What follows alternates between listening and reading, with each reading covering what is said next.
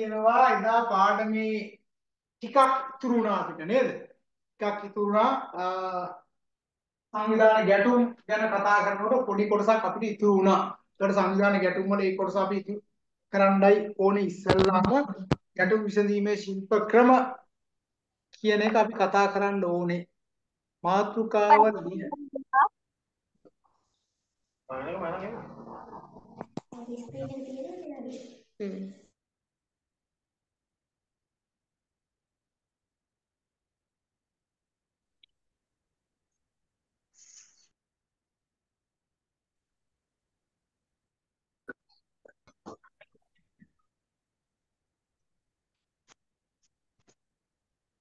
මාතෘකාව ලියා ගන්න ගැටුම් විසඳීමේ ශිල්ප ක්‍රම කියලා.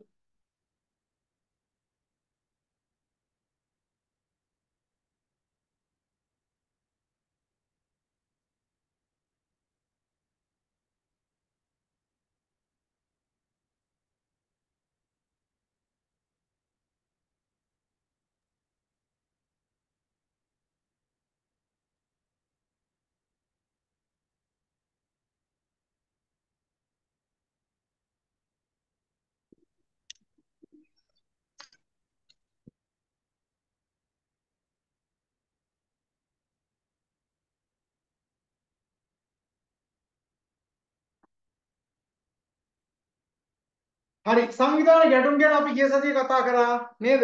ගැටුම් පටන් ගත්තා. ඒතකොට සංවිධාන ගැටුමක් කියන්නේ මොකද්ද?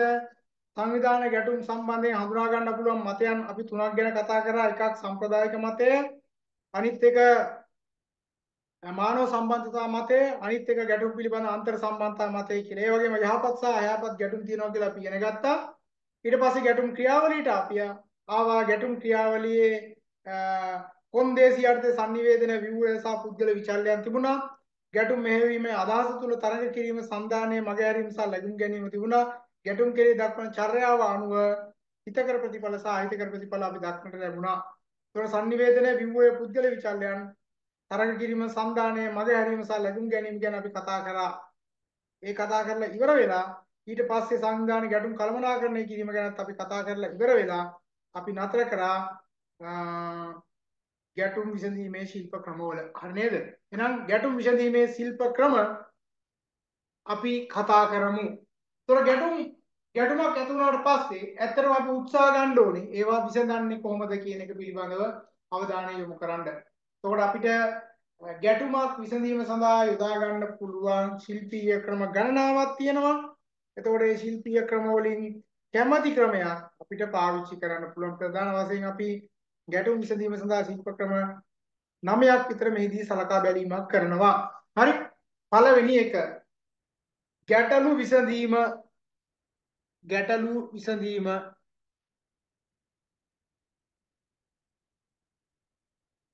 ගැටලු විසඳීම.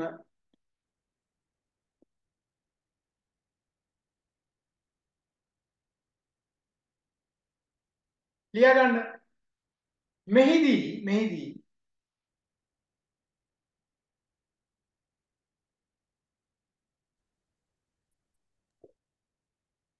යම් අයහපත් සංවිධාන ගැටුම යම් අයහපත් සංවිධාන ගැටුම යම් අයහපත් සංවිධාන ගැටුමක්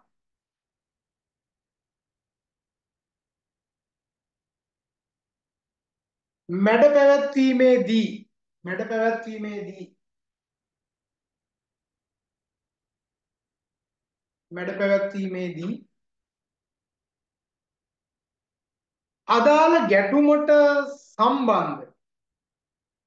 පාර්ශවයන් විසින්. අදාළ ගැටුමට සම්බන්ධ පාර්ශවයන් විසින්.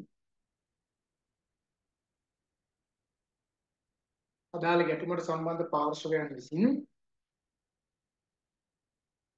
මුහුණට මුහුණලා. මුහුණට මුහුණලා.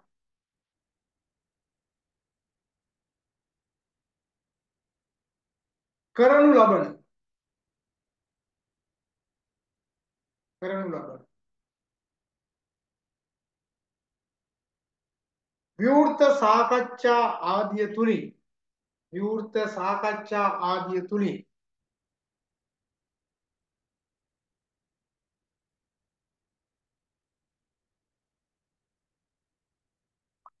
ගැටුම සඳහා හේතු වී ඇති. ගැටුම සඳහා හේතු වී ඇති.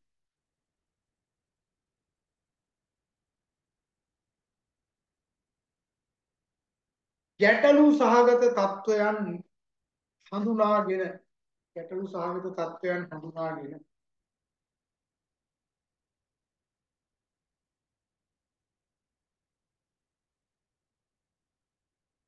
ඒවාට විසඳුම් සහ නිර්දේශයන් ඉදිරිපත් කිරීමට ඒවාට විසඳුම් සහ නිර්දේශයන් ඉදිරිපත් කිරීමට උත්සාහ දරනු ලබයි. උත්සාහ දරනු ලබයි දැන් එතකොට මේකෙදි පැහැදිලිවම ගැටුමක් වුණාට පස්සේ ඒ පාර්ශවයන් එක්ක සම්මුඛ සාකච්ඡා තියෙනවා බොහොම විවෘතව සාකච්ඡා කරනවා දැන් ඔයාලා දන්නවා දුම්රිය දෙපාර්තමේන්තුව ගැටුමක් ඇති කරගත්තට පස්සේ ඒ අදාළ අමාත්‍යවරයාත් එක්ක සාකච්ඡාවක් නේද? වාණිජ්‍ය තෙල් නීතිගත සංස්ථාව සාකච්ඡාවක් තියෙනවා. වෛද්‍යවරු සාකච්ඡා කරනවා. හෙදියෝ සාකච්ඡා කරනවා. එතකොට කෘෂිකර්ම දෙපාර්තමේන්තුව සාකච්ඡා කරනවා. ගුරුවරු සාකච්ඡා කරනවා. මේ විවෘතව සාකච්ඡා. විවෘතව සාකච්ඡා කරලා ඒ ගැටුම් වලට යහපත් විසඳුම් ලබා දීම සඳහා අවශ්‍ය ක්‍රියාමාර්ග ගැනීම තමයි අපි ගැටලු විසඳීම යටතේ කතා කරන්නේ. හරි. දෙක සුවිශේෂී පරමාර්ථ තබා ගැනීම සුවිශේෂී පරමාර්ථ තබා ගැනීම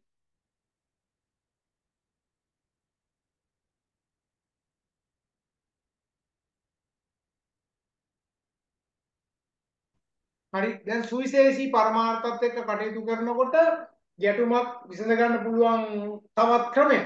ඒතර මේකෙදි අපි බලාපොරොත්තු වෙනවා ප්‍රශ්නේ දුර දිග අරගෙන යන්නේ නැතුව ගොඩින් බේර ගන්න පුළුවන් මොන වගේ ක්‍රමවේදයක්ද තියෙන්නේ කියලා හොයලා බලනවා. අපි ඔක්කොම එකට කටයුතු කරන්න ඕන කියන තැන ඉඳන් තමයි මේකෙදි මේ විසඳුම අපි ගන්න උත්සාහ කරන්නේ. හරි? ලියා ගන්න මෙහෙම මින් අදහස් කරනු ලබන්නේ. මින් අදහස් කරනු ලබන්නේ. ගැටුමට සම්බන්ධ පාර්ශවයන් විසින්. ගැටුමට සම්බන්ධ පාර්ශවයන් විසින්.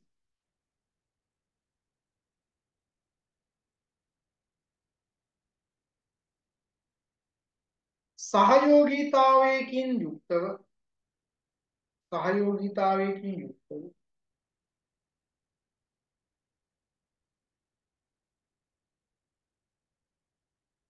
ගැටුමට සම්බන්ධ සහයෝගීතාවයකින් යුක්තව එකට ක්‍රියා කළ යුතු බැව්. එකට ක්‍රියා කළ යුතු බැව්. උපකල්පනය කිරීමයි.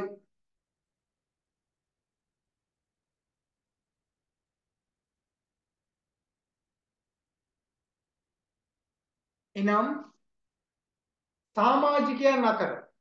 එනම් සමාජිකයන් අතර.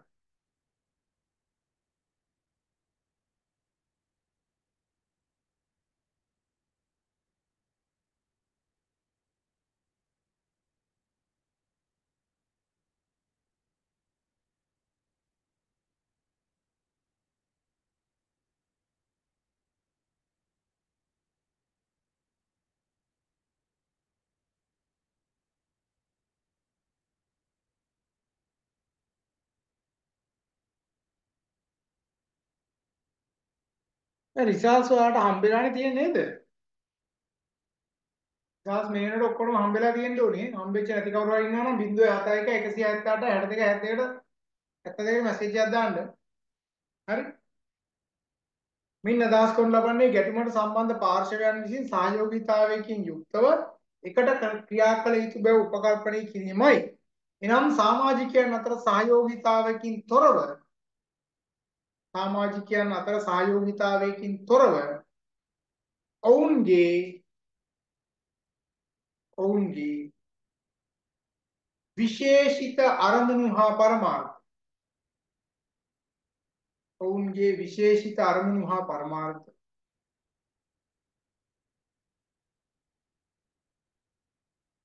ඉටු කරගත නොහැකි බැව් ඉටු කරගත නොහැකි බැව්. තේරුම් ගැනීමයි.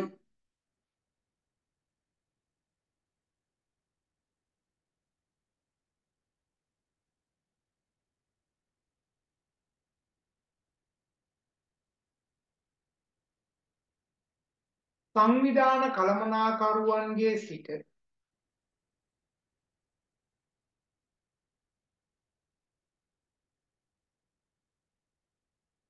සංවිධාන කළමනාකරුවන්ගේ සිට යටත් සේවකයන් දක්වා යටත් සේවකයන් දක්වා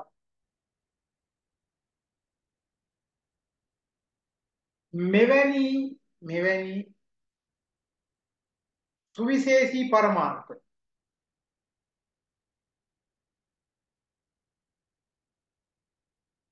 ජනිත කිරීම තුලින් ජනිත කිරීම තුලින්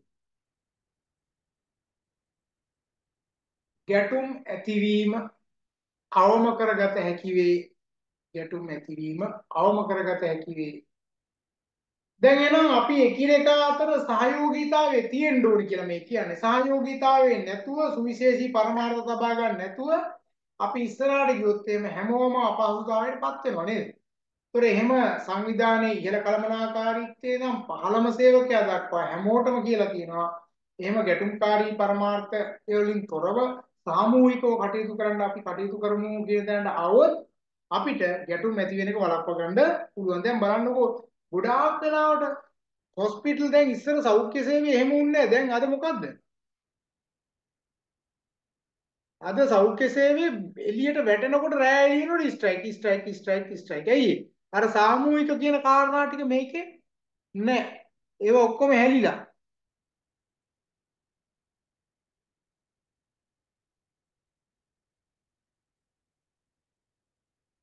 පොඩි ප්‍රශ්නයක් දාලා තියෙනවා. සංවිධාන නෙවෙයි මොකද්ද?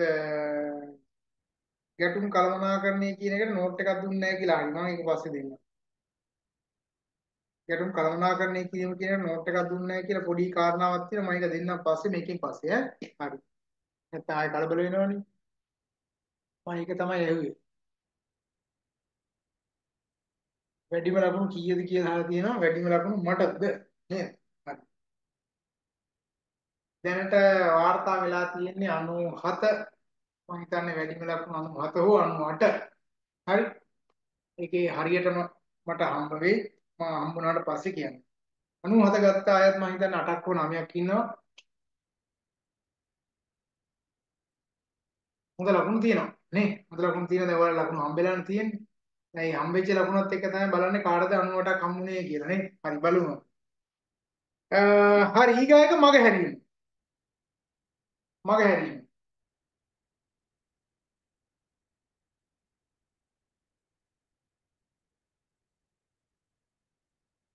මගහැරීම කියන්නේ මෙහෙමයි යම් ගැටුම්කාරී තත්වයක් යම් ගැටුම්කාරී තත්වයක්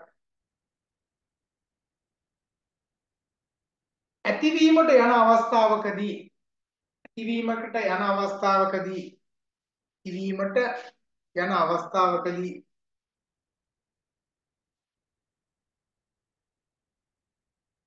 සමාජිකයින් විසින් සමාජිකයන් විසින් ඒ හා සම්බන්ධ කටයුතු වලින් ඒ හා සම්බන්ධ කටයුතු වලින්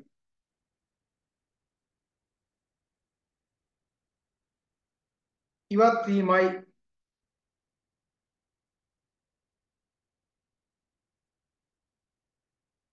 එනම් සංවිධාන ගැටුමක් ඇතිවීම සඳහා. එනම් සංවිධාන ගැටුමක් ඇතිවීම සඳහා.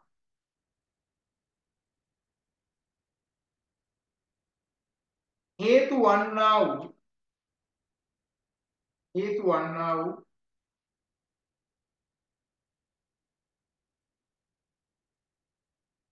සාධක සඳහා යොමු නොවි සාධක සඳහා යොමු නොවි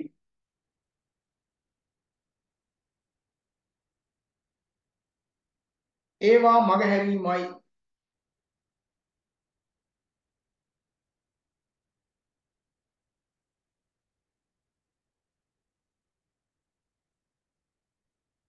හරි. ඒතර ගැටුමක් ඇති වෙන්න යනවා කියලා අපිට තේරුම් ගියොත් නේද? අපි පුළුවන් තරම් ඉක්මනින් ඒක මගහැරලා නිකයි ඉන්න ඕනේ. මොකද ගැටුමක් ඇති කර ගැනීම තුළ සම්පත් නාස්තියක් විශාල වශයෙන් සිද්ධ වෙනවාමයි නේද?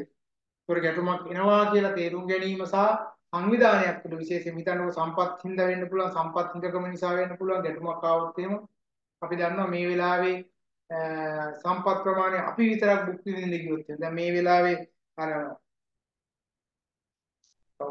මහ බැංකුවේ නිලධාරීන් බාන ලක්ෂ ගණන් පඩි වැඩි කරගත්තේ. ලංකාවේ සම්පත් මේ වෙලාවේ හිඟයි එයාලා කියනවා මේක රට දාලා කට්ටිය. එහෙම උනොත් වැඩ කරන්න කට්ටිය නැති වෙයි කියලා. එයාලගේ වැටුප් ටික වැඩි කරගන්න. ඔගේ ඊගාව තර්කය තමයි එයාලා කිව්වොත් එimhe තව අය මේකේ ඕන තරම් දක්ෂයෝ ඇති නේද? ලංකාවේ ඉන්න දක්ෂයෝ නැති නෑ. විශේෂඥ වෛද්‍යවරු මේ රට දාලා ගියා කියලා මේක පල්ලෙහාට වැටලා නෑ. තව අය බිහි වෙනවා නේද? ඒ නිසා සාධාරණ හේතු උරුප්පෝලුප්ප නේද? එහෙම ඇත්තම ගැටුම්කාරී තත්ත්වයක් නේ. ඒ වගේම අර වෛද්‍යවරුන්ට දීමනා දීපු එකක් මුදල් කියන්නේ සම්පතක්. ඒ සම්පත හිඟයි. ඒතර ඒවා බෙදා හදා ගැනීමේදී ගැටුම්කාරී තත්ත්වයක් නැති වෙනවා. කල් ඇතුව ඒ වගේ ඉවත් කරගන්න පුළුවන් නම් අපිට පැහැදිලිව ගැටුමකට නොදී මේක වැඩේ ගොඩින් බේරගන්න පුළුවන්. හරි ඊගා එක. තුමටනේ හෙවත් මුදු බව. තුමටනේ හෙවත් මුදු බව.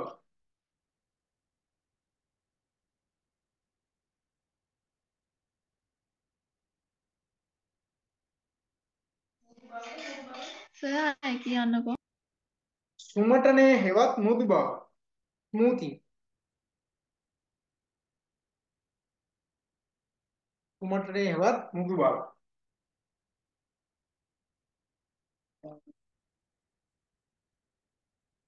ලියන අදාළ ගැටුමට සම්බන්ධ පාර්ශවයන් විසින් අදාළ ගැටුමට සම්බන්ධ පාර්ශවයන් විසින්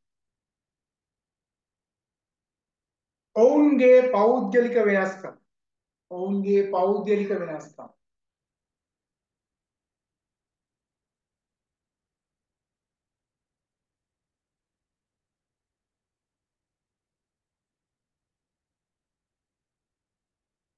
හැකිතාක් දුරට අවම කර ගැනීම. හැකිතාක් දුරට අවම කර ගැනීමට උත්සාහ කරනු ලබන අතර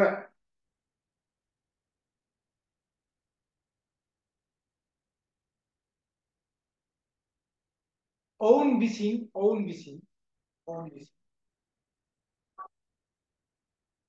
පොදු රුචිකත්වයක් හෙවත් පොදු රුචිකත්වයක් හෙවත් පොදු රුචිකත්වයක් හෙවත් පොදු ඇල්මක් පොදු ඇල්මක් ගොඩනගා ගැනීමටද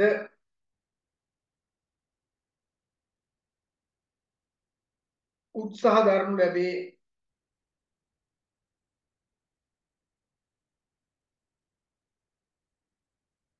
මෙම පුද්ගල වෙනස්කම් යටතට මෙම පුද්ගල වෙනස්කම් යටතට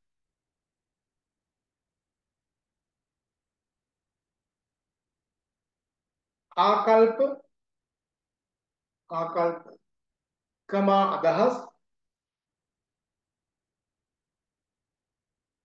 කමා මතවාද කමා හැඟීම් කමා සංජානනය. කතා කරනවා සංජානනය ගැන වෙනම. සංජානනය කමා පෞරුෂත්ව ලක්ෂණ.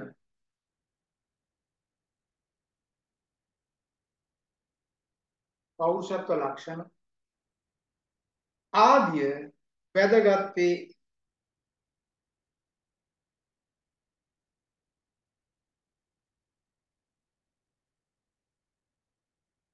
මෙකී පුද්ගලික ලක්ෂණ මෙකී පුද්ගලික ලක්ෂණ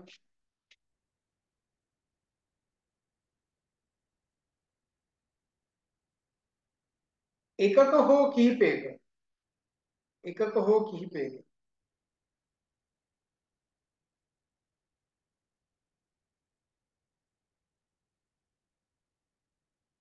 පවතිනා වූ දැඩි වෙනස්කම්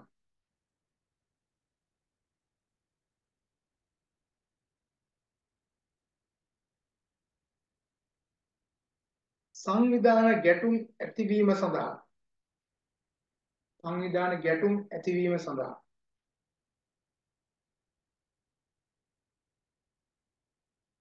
දෙහෙවින්ම බලපානු ලැබේ.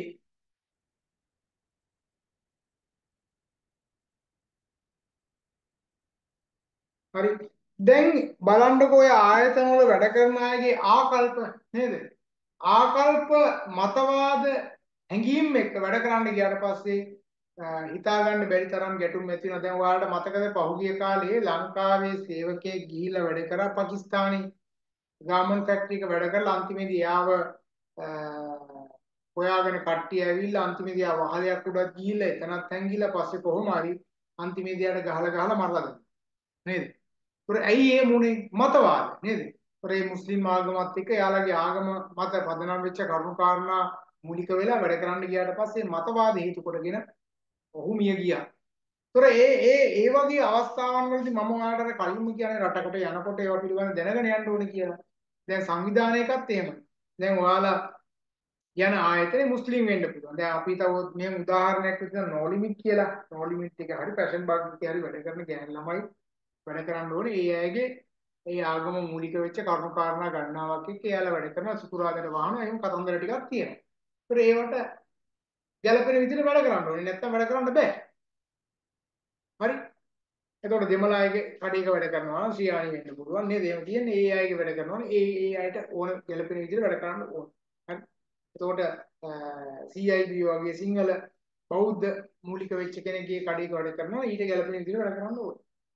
ඒතර සංවිධාන පද්ධතියක් ඇතුලේ ගැටුම් ඇති වෙනකොට දැන් හිතන්න වරාය අධිකාරියේ ඉන්න වරාය අධිකාරියේ ටීම් ටීම් ගහ ගන්න. දැන් මම දැක්ක පහුගිය කාලේ ගුරුවරු ගුරුවරු කණ්ඩායම් දෙක තුනකට බෙදිලා ඒ ඒ අය ගහගත්තා පාරේ මැද.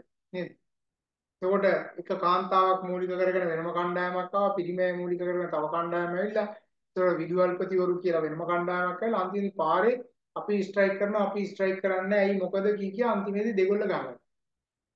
එතකොට මතවාද නෙමෙයි නේද? ඔක්කොම ගුරුවරු. ඒක ඔක්කොම අයිතින් දිනා ගැනීම සඳහා තමයි පාරට එන්නේ. නමුත් ඒ ණය දෙපැත්තකට බෙදලා ගන්නවා. දැන් මේ වෙනකොට වෛද්‍යවරු එක කණ්ඩායමක් රජයේ ක්‍රියාමාර්ග අනුමත කරමින් ක්‍රියාත්මක කරනවා. තව කණ්ඩායමක් ඒකට පක්ෂපාතීව ක්‍රියා කරන්නේ GMO එක. ඒත් ඇයි මතවාද? ඒතර ඔවුන් ඔවුන් අතර දැන් මුරුත් එක්කේ හාමුදුරුවෝ මූලික වෙලා එක කණ්ඩායමක් නැවතස්ලා යනවා නේද? තව රත්නප්‍රිය මහත්තයා මූලික වෙලා තව කණ්ඩායමක් යනවා. ඒතර ඒ අය ගැටුම් ඇති කරගන්නවා. ඒතර ගැටුම් ඇති කරගන්න හේතුව තමයි ඒ ඒ අයගේ මතවාදය. ඒක ආගමික මතවාදයන් වෙන්න පුළුවන්, ඒක දේශපාලනික මතවාදයන් වෙන්න පුළුවන්, ඒක පෞද්ගලික පෞරුෂීය මූලික වෙච්ච කාරණාවක් වෙන්න පුළුවන්. හරි. ඒ නිසා ඔයාට ඔයාට යමෙක් මොනවා හරි කියනකොට ඒක ඔයාට දැනෙන ප්‍රමාණය අනුව ඒක ගැටුමක් දක්වා අරගෙන යන්න ඔයාට පුළුවන්. නේ දැන් ඊයේ අර ක්‍රිකට් මැච් එකේදී බංගලදේශී කණ්ඩායම පරාජය කරලා ලංකාව දිනනකොට නේද? එතනත් ගැටුම් ඇති වෙනවා. එක බෝලෙන්ම අවුට් වුණාම අවුල් වෙනවා. නේද? ආපු පළවෙනි බෝලෙන්ම විකට් එක ගැලවිලා යනකොට ටිකක් අවුල්. ඒකට ආයෙ ගහගන්න යනවා නේද? අයියා හිතාගෙන හිටපු මතවාදී ඊට වඩා වෙනස් වෙන්නේ. ඈ? ඊළඟට එහෙම නේද? ඒ ඒවත් එක්ක නිකන් අපිට අර ජවයක් ගන්න තමයි ඕනේ නේද? පොඩි කොලොප්පමක් දැම්මම කමක් නැහැ. හැබැයි ඒක ජවයක් කරගෙන ඉස්සරහට යන්න පුළුවන්. ඒ කියන්නේ ගැටුම් කියන ඒවා තමන් අපේක්ෂා කරන හැම වෙලාවෙම අපේක්ෂිත දේවල් ඒ ආකාරයෙන් ඉෂ්ට වුනේ නැත්නම් සිද්ධ වෙනවාමයි නේද? right. ඊගායක යම් පස්වෙනි කාරණාව සම්මුතියට පැමිණීම. සම්මුතියට පැමිණීම. සම්මුතියට පැමිණීම.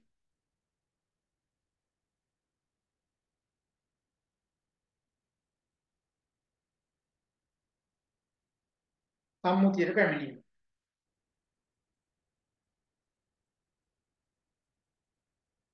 ලියන්නේ මින් අදහස් වන් මින් අදහස් වන් අදාළ ගැටුමට සම්බන්ධ. අදාළ ගැටුමට සම්බන්ධ. පාර්ශවයන් විසින්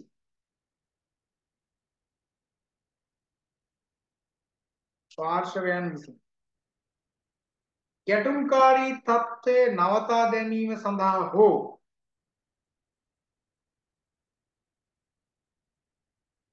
ගැටුම්කාරී තත්ත්වය නවතා දැමීම සඳහා හෝ අවම කර ගැනීම සඳහා. අවම කර ගැනීම සඳහා. කිසියම් එකඟතාවයකට පැමිණීමයි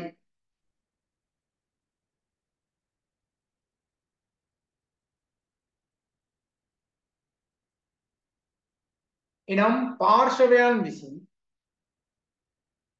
එනම් පාර්ශවයන් විසින්.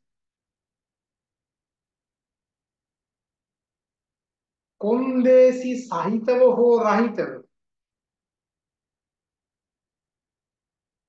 කොන්දේසි සහිතව හෝ රහිතව?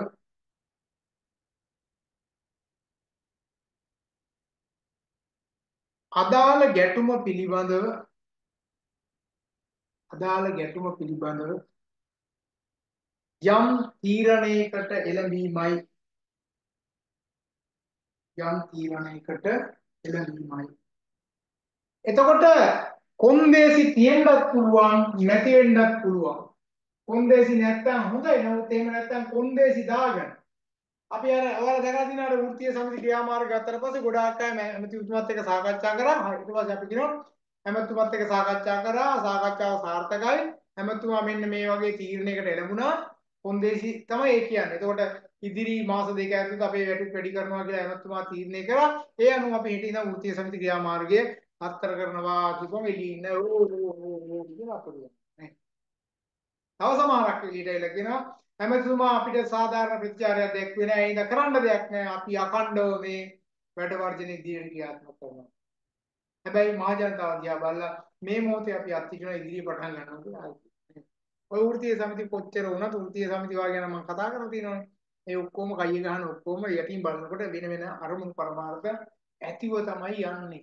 හරි? එහෙනම් ඒවට මැදිහත් වෙලා නිකන් සමහරලාට මැදින් සම්බන්ධ වෙලා තැලෙනවට වැඩිය හොඳයි බොහොම කල්පනාකාරීව රස්සාවකට ගියාට පස්සේ මධ්‍යස්ථව කටයුතු කරන්න පුළුවන් නෑ. මොකද රස්සාව බේර ගන්නත් එපා. රස්සාව බේරගෙන කටයුතු කරන්න ඕනේ. දැන් ඔයා දැක්කනේ කංජතෙලේ දිහා සංස්ථාවේ සේවකයෝ පාට බැල කෑ ගාලා හුරු කියලා විදුලි බලනවානේ නේ. පා කියද්දි නැටුවනේ. හැබැයි අදටත් 60 ගානක රස්සාව නෑනේ. දැන් මේ 60 රස්සාව දෙන්න කියලා ආයෙත් කෑ ගැහුවෝ ඒත් හරි කියන්නේ නෑ. ඒතොර 60 ගානකට අද වෙද්දි රස්සාව නෑ. ඉන්ට්‍රඩික් කරලා තියෙන. දැන් මේ අවුරුදු එහෙම එනවා. දැන් අවුරුද්දට ඒ ළමා ලපටින්ට කණ්ඩ බොණ්ඩ දෙන්න පඩියක් නැහැ. හ්ම්. දැන් වෘත්තීය සමිතියෙන් ගෙවයිද?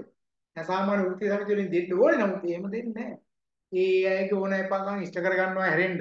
උඩ ඉන්න අය ඒක මූලිකත්වයේ ගන්නවා හැරෙන්න වෙන කවුරුත් නැහැ. ඊළඟ බැච් එක පටන් ගන්න දවසක් නැද්ද තාම? කවුරු හරි ඉන්නවනේ මේ බැච් එකටම සම්බන්ධ වෙන්න. මේකටම සම්බන්ධ වුණොත් එයාට ගෙවන්න වෙන්නේ 18000යි නැත්නම් ඉස්සරහා පටන් ගන්න එකේ පාඨමාලා ගාස්තු වැඩි වෙනවා. ඉදිරියේ පටන් ගන්න එකේ දවස තීරණය කරන්න වෙන්නේ මම අපි මාර්තු පටන් ගන්න තිබුණේ. නමුත් මාර්තු දැන් අපේ බැච් එකක් යන හින්දා මම එක් පොඩ්ඩක් මාස කමාරක් විතර පොඩ්ඩක් පස්සට දාලා තියෙන එහෙමත් මේ මාසේ තමයි ආයෙ පටන් ගන්නෙ. එතකන් මේ අවුරුදු තාම පටන් ගත්තේ නැහැ. right. අනිත් එක HRM පටන් ගන්නකොට මම ඔයාලට කිව්වා HRM කරන්නේ අපේ 0.71යි 0.7යි 178යි 72යි 72 කියන WhatsApp නම්බරය හරහා නෝටිස් කරලා තියෙන ඒවා විතරයි. ඒ කියන්නේ තාම අපි මේ අවුරුද්දට පටන් ගන්න දාලා තියෙන කවුන්සිලින් එක දාලා තියෙන ඒ ඇරෙන්න වෙන මොකුත් දාලා නැහැ. අනිත් ඔයාලා ওই Facebook එකේ එහෙම දකින්න ඒවා ඒවා මන් සම්බන්ධ වෙච්ච ඒවා නෙවෙයි. නේද මං සම්බන්ධ වෙච්ච ඒවා නෙවෙයි අදාළ ආයතනයේ විසින් වෙනත් කණ්ඩායමක් එක්ක එකතු වෙලා ඒ ආයතනයේ විසින් කරන පාඨමාලාවක් විදිහට තමයි යන්නේ. එතකොට ඒක ඒකත් මහරගෙන තමයි කරන්නේ. නමුත් ඒකට මගේ සම්බන්ධයක් නැහැ. හරි? ඒ නිසා මගෙත් එක්ක එකතු වෙලා ඉන්න ළමයි ටික බලාගෙන ඉන්නවා මේකත් එක්ක සම්බන්ධ වෙන්න. ඒ අයට මතක් කරන්නේ දැනට ඕන යන්නේකට සම්බන්ධ වෙන්න. පුළුවන් දැනට උදේ එකක් තියෙනවා. එහෙම නැතුනොත් ආය ඇයි මාසෙ පටන් ගන්නවා. ඒකම ලෑස්තිලා ඉන්න. කවුන්සිලින් එකේ රෙජිස්ට්‍රේෂන් පටන් ගන්න තියෙනවා. ඒ ඇප්ලිකේෂන් දාලා තියෙනවා. ඒක 30 වෙනිදා පටන් ගන්න. හරි? right. ඊගොල්ලෝ ලියා ගන්න අධිකාරීත්ව නියෝග. අධිකාරීත්ව නියෝග. අධිකාරීත්ව නියෝග. ඔයාලට මම ගිය සතියේ මේ නෝට් එකක් දාලා තිබ්බ නේද? මේ නෝට් එක දාලා තිබ්බා. අන්තිම ටිකත් එක්ක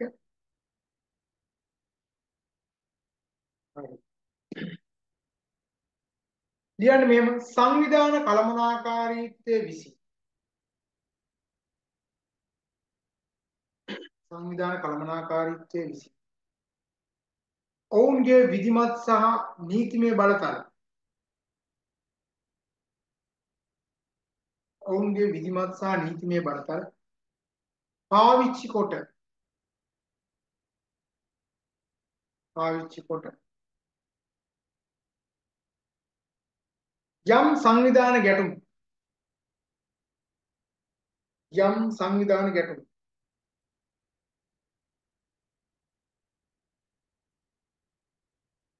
මැඩ පැවැත්වීම. මින් අදහස් වේ.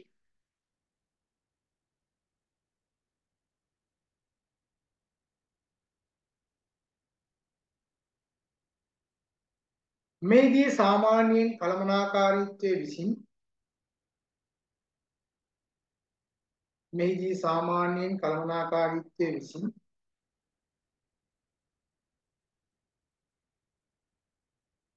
පළමුවෙන්ම පළමුවෙන්ම ගැටුමට සම්බන්ධ පාර්ශවයන් වෙත ගැටුමට සම්බන්ධ පාර්ශවයන් වෙත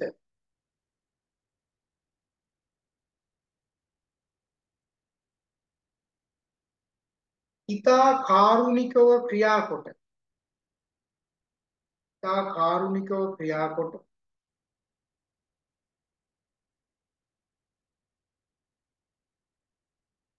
ගැටුම් තත්ත්වයන් වළක්වා ගැනීම සඳහා. ගැටුම් තත්ත්වයන් වළක්වා ගැනීම සඳහා.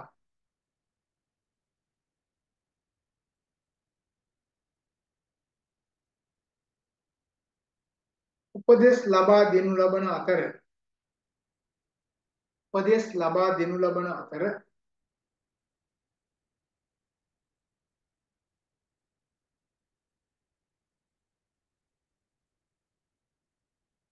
එය සාර්ථක නොවන අවස්ථාවන් වලදී එය සාර්ථක නොවන අවස්ථාවන් වලදී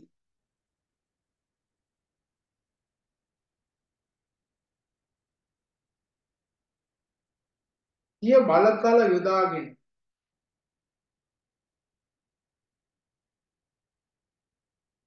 සිය බලතල යොදාගෙන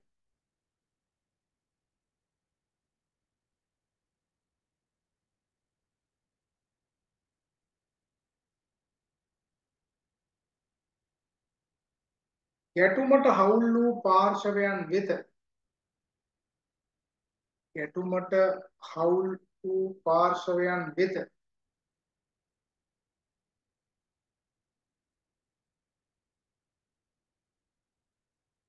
බලපෑම් කරනු ලැබේ. ඉස්සල්ලා අපි කියන සරලව හොඳින් කියනවා මේක මේ විදිහට කරන්න කියලා. එහෙම නැත්තම් මොකද වෙන්නේ? බලතල පාවිච්චි කරා. මං කිව්වා අර විදුලි බල ඇමතිවරයා පාවිච්චි කරේ ඔන්න ඕක.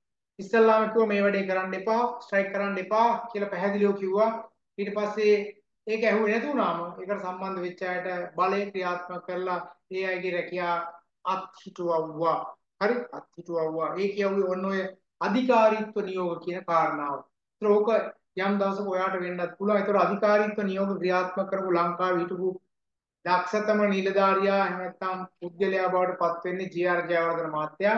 මොකද එයා විධායක ජනාධිපතිවරයා විදියට ස්ට්‍රයික් කරන්න එපා කියලා කිව්වා. එකපාරයි දෙපාරයි තුන්වෙනි පාරත් ඇහුවේ නැහැ. ඊට පස්සේ දාස් ගානකදී රැකියා නැති කරලා දැන්. ඒකට කළු ජූලි 89 නේද? 71 ඉඳන් ආපු අය ප්‍රශ්න ප්‍රශ්න විවිධ ප්‍රශ්න ආවා. ඒ ආපු අයගේ 80 80 ගණන් වල රැකියා හිමිවීම සම්බන්ධයෙන් ජේ.ආර්. ජයවර්ධන මහත්තයා දැඩි තීරණයක් ගත්තා. ඒ අයගේ රැකියාව දුන්නේ නැහැ. දහස් ගානකගේ රැකියාව හිමුණා. දැන් මේ වෙනකොට මට පිට රට රට අමතකයි හරියටම රට මතක නැහැ. මේ වෙනකොට වෛද්‍යවරු ස්ට්‍රයික් කරපු කරාට පස්සේ ඒ අදාළ රටේ ඔයාලට බලන්න පුළුවන් නිවුස් වලට දාලා ඇති. ඒ ඒ වෛද්‍යවරු ඔක්කොම නිරපායහැරියා. මේ වෙනකොට මේ ගිය සතියේ. අදාළ රටේ වෛද්‍යවරු ඔක්කොම නිරපායහැරියා ස්ට්‍රයික් කරපු ඔක්කොගෙම එයාලගේ ලයිසන් එක කැන්සල් කරා. ඒතකොට ලයිසන් එක කැන්සල් කරපු ගමන් වෙන්නේ මොකද්ද? එයාට රජයේ රෝහලක වැඩ කරන්නත් බෑ. පෞද්ගලික ගිහිල්ලා බෙහෙත් දෙන්නත් බෑ ලයිසන් එක නැති නිසා. හරි? ඒ නිසා ඇත්තටම ලංකාවේ වුණත් ඒක කරන්න පුළුවන් නේද? ලංකාවේ කරන්න පුළුවන්. ඊගා එක හත්වෙනි කාරණාව පුද්ගල විචල්යන් වෙනස් කිරීම. පුද්ගල විචල්යන් වෙනස් කිරීම.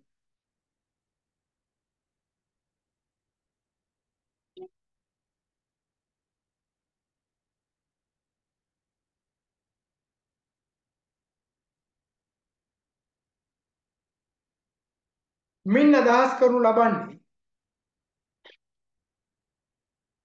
මින් අදහස් කරනු ලබන්නේ? ඉහත සඳහන් කරන ලද ආකාරයට ඉහත සඳහන් කරන ලද ආකාරයට.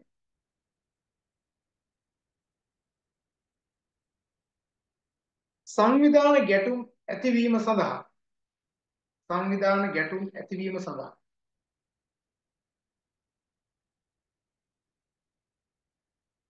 බලපානු ලබන පුද්ගල සාධක හේවත්. බලපානු ලබන පුද්ගල සාධක හේවත්.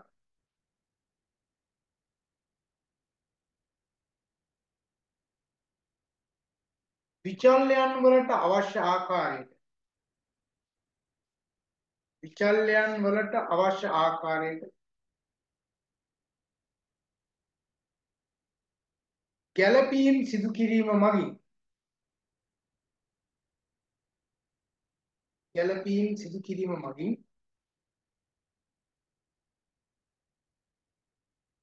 අයහපත් ආකාරයේ ගැටුම්. අයහපත් ආකාරයේ ගැටුම් වළක්වා ගැනීමට ප්‍රයත්න දැරීමයි.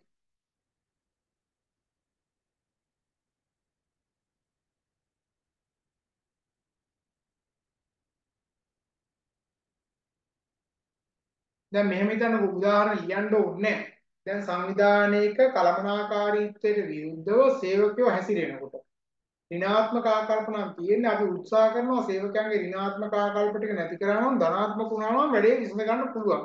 දැන් උදාහරණයක් විදිහට ඉන්නවා මේ රජයේ ක්‍රියාත්මක වෙන වැඩපිළිවෙල පිළිබඳව මිනිසුන්ගේ තියෙන ඍණාත්මක ආකල්පයක් නේ. හැබැයි ඒක ධනාත්මක කරගන්න පුළුවන් වුණා නම් කොහොම හරි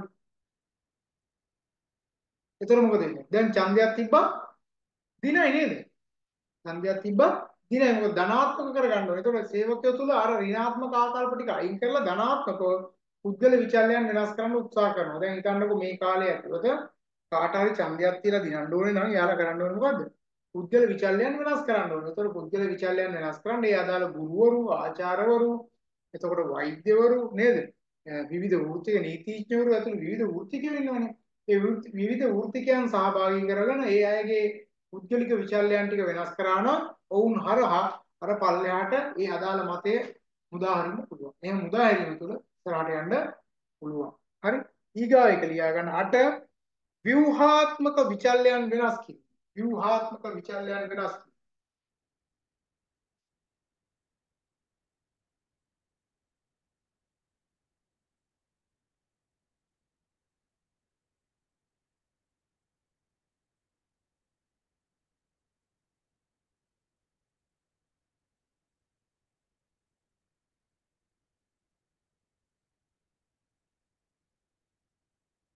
ව්‍යුහාත්මක විචල්යන් වෙනස් කිරීම.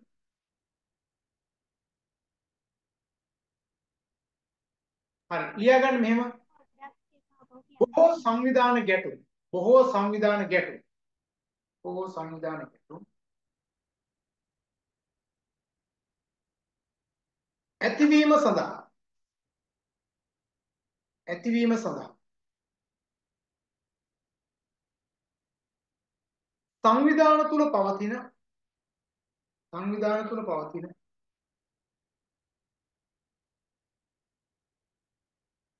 ව්‍යුහාත්මක වෙනස්කම්ද ව්‍යුහාත්මක වෙනස්කම්ද බෙහෙවින් බලපානු ලැබේ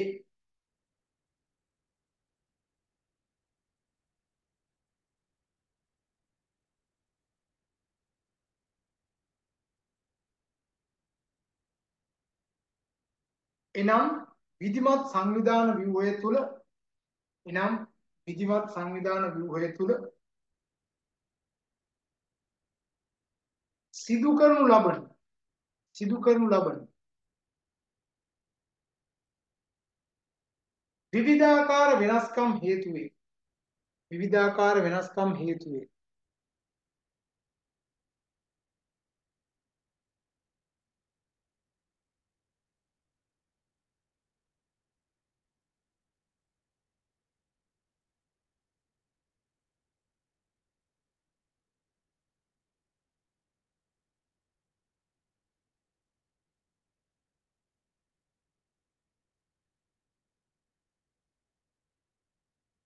බොහෝ සමාජිකයන් තුළ බොහෝ සමාජිකයන් තුළ අසහනකාරී තත්ත්වයක්.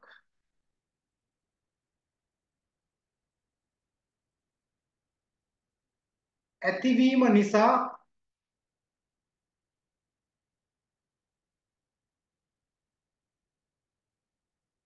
ගැටුම්කාරී තත්ත්වයන් ඇතිවේ.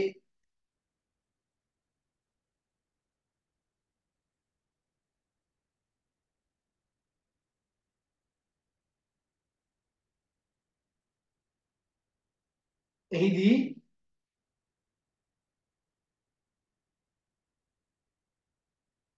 රැකියා නිර්මාණය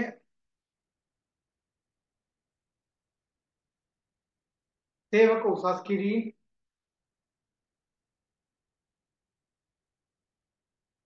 ක්‍රමා මාරු කිරීම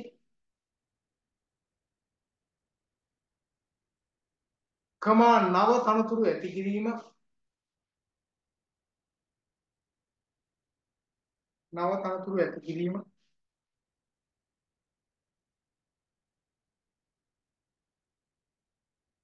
සංවිධාන කටයුතු වල සම්බන්ධීකරණය වෙනස් කිරීම.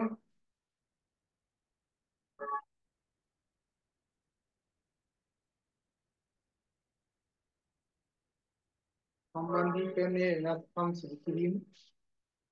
ආදී පුද්ගල ආදී පුද්ගල සම්බන්ධතාවල ආදී පුද්ගල සම්බන්ධතාවල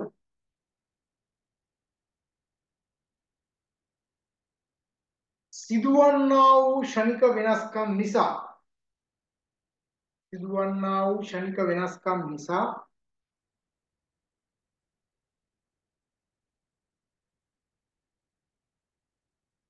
බොහෝ විට ගැටුම් ඇතිවේ බොහෝ විට ගැටුම් ඇතිවේ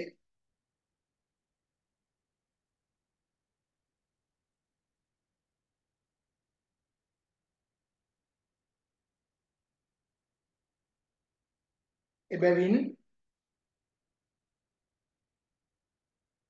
ව්‍යුහාත්මක වෙනස්කම් ව්‍යුහාත්මක වෙනස්කම් අවශ්‍ය පරිදි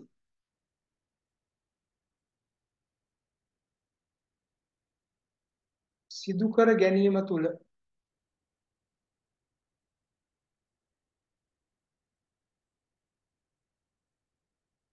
ගැටුම් අවම කරගත හැක.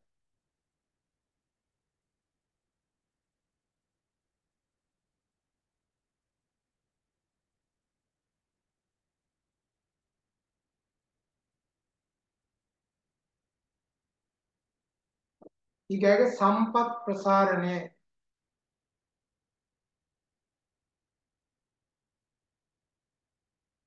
extension of resource සම්පත් ප්‍රසාරණය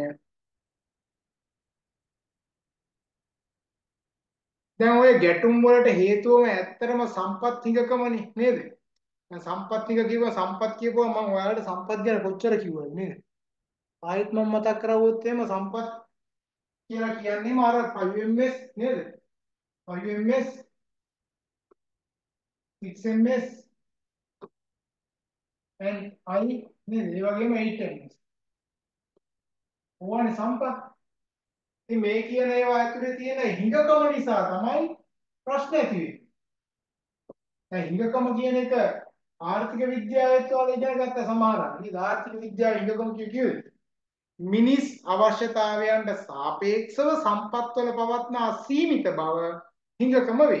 ඒ හිඟකම සෑම සමාජයකටම පොදුයි සෑම ආර්ථිකයකටම පොදු වූ කාරණාවක්. හිඟකම කියන එක කියන නැති එකක් නෙවෙයි හැමතැනම තියෙනවා නේද? මට මෝටර් සයිකලයක් තියෙනකොට මෝටර් සයිකලයක් නැතිකම කෙනෙකුට මෝටර් සයිකලයක උවමනාවක් තියෙනවා. පුළුවන්. හැබැයි මම ඊට පස්සේ ත්‍රී වීල් එකකට යන්න ඕනකට. මම ත්‍රී වීල් එකක් ගන්නකොට පස්සේ හිතනවා මම කාර් එකක් ගන්න ඕනේ කියලා. ඒක මරුටියක් ඕනේ කියලා හිතනවා නේද? පස්සේ මම හිතනවා නෑ නෑ ඇල්ටෝ එකක් ගත්තොත් හොඳයි කියලා හිතනවා නේද? ඊට පස්සේ ඕන මම වැගන් ආර් එකක් ගත්තොත් හොඳයි කියලා හිතනවා. ඊට පස්සේ අවසානයේ ගිහිල්ලා ටොයෝටා වගේ හොඳ කාර් එකක් ගත්තොත් හොඳයි කියලා හිතනවා නේද? ඊට වැඩිය ඊට පස්සේ ටිකක් කල් ගියගෙන යනවා BMW එකක් නේද? බෙන්ස් එකක් ගත්තොත් හොඳයි කියන තැනට එනවා නේද? ඊට පස්සේ රේන්ජ් රෝවර් එකක් වගේ ගත්තොත් හොඳයි කියලා. V8 වගේ එකක් ගත්තොත් හොඳයි. ওই විදිහට යනවා එක තැනක ඉන්නේ නේද? එක එක එක එක එක එක නේද? දැන් අර අර අදානිලා හැම ඉන්දියාවේ නේද? අදානිලා හැම එයාලගේ ආදායම මෙහෙම කොච්චරද නේ? තොර ඕටිපතියෝ ඉන්නේ ඈ? කේස්ලා වගේ අය නේද?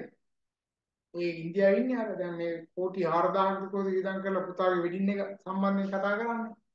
රුපියල් කෝටි 4000. කෝටි ඒව 4000 වියදම්. හරි වෙඩිමට නේද?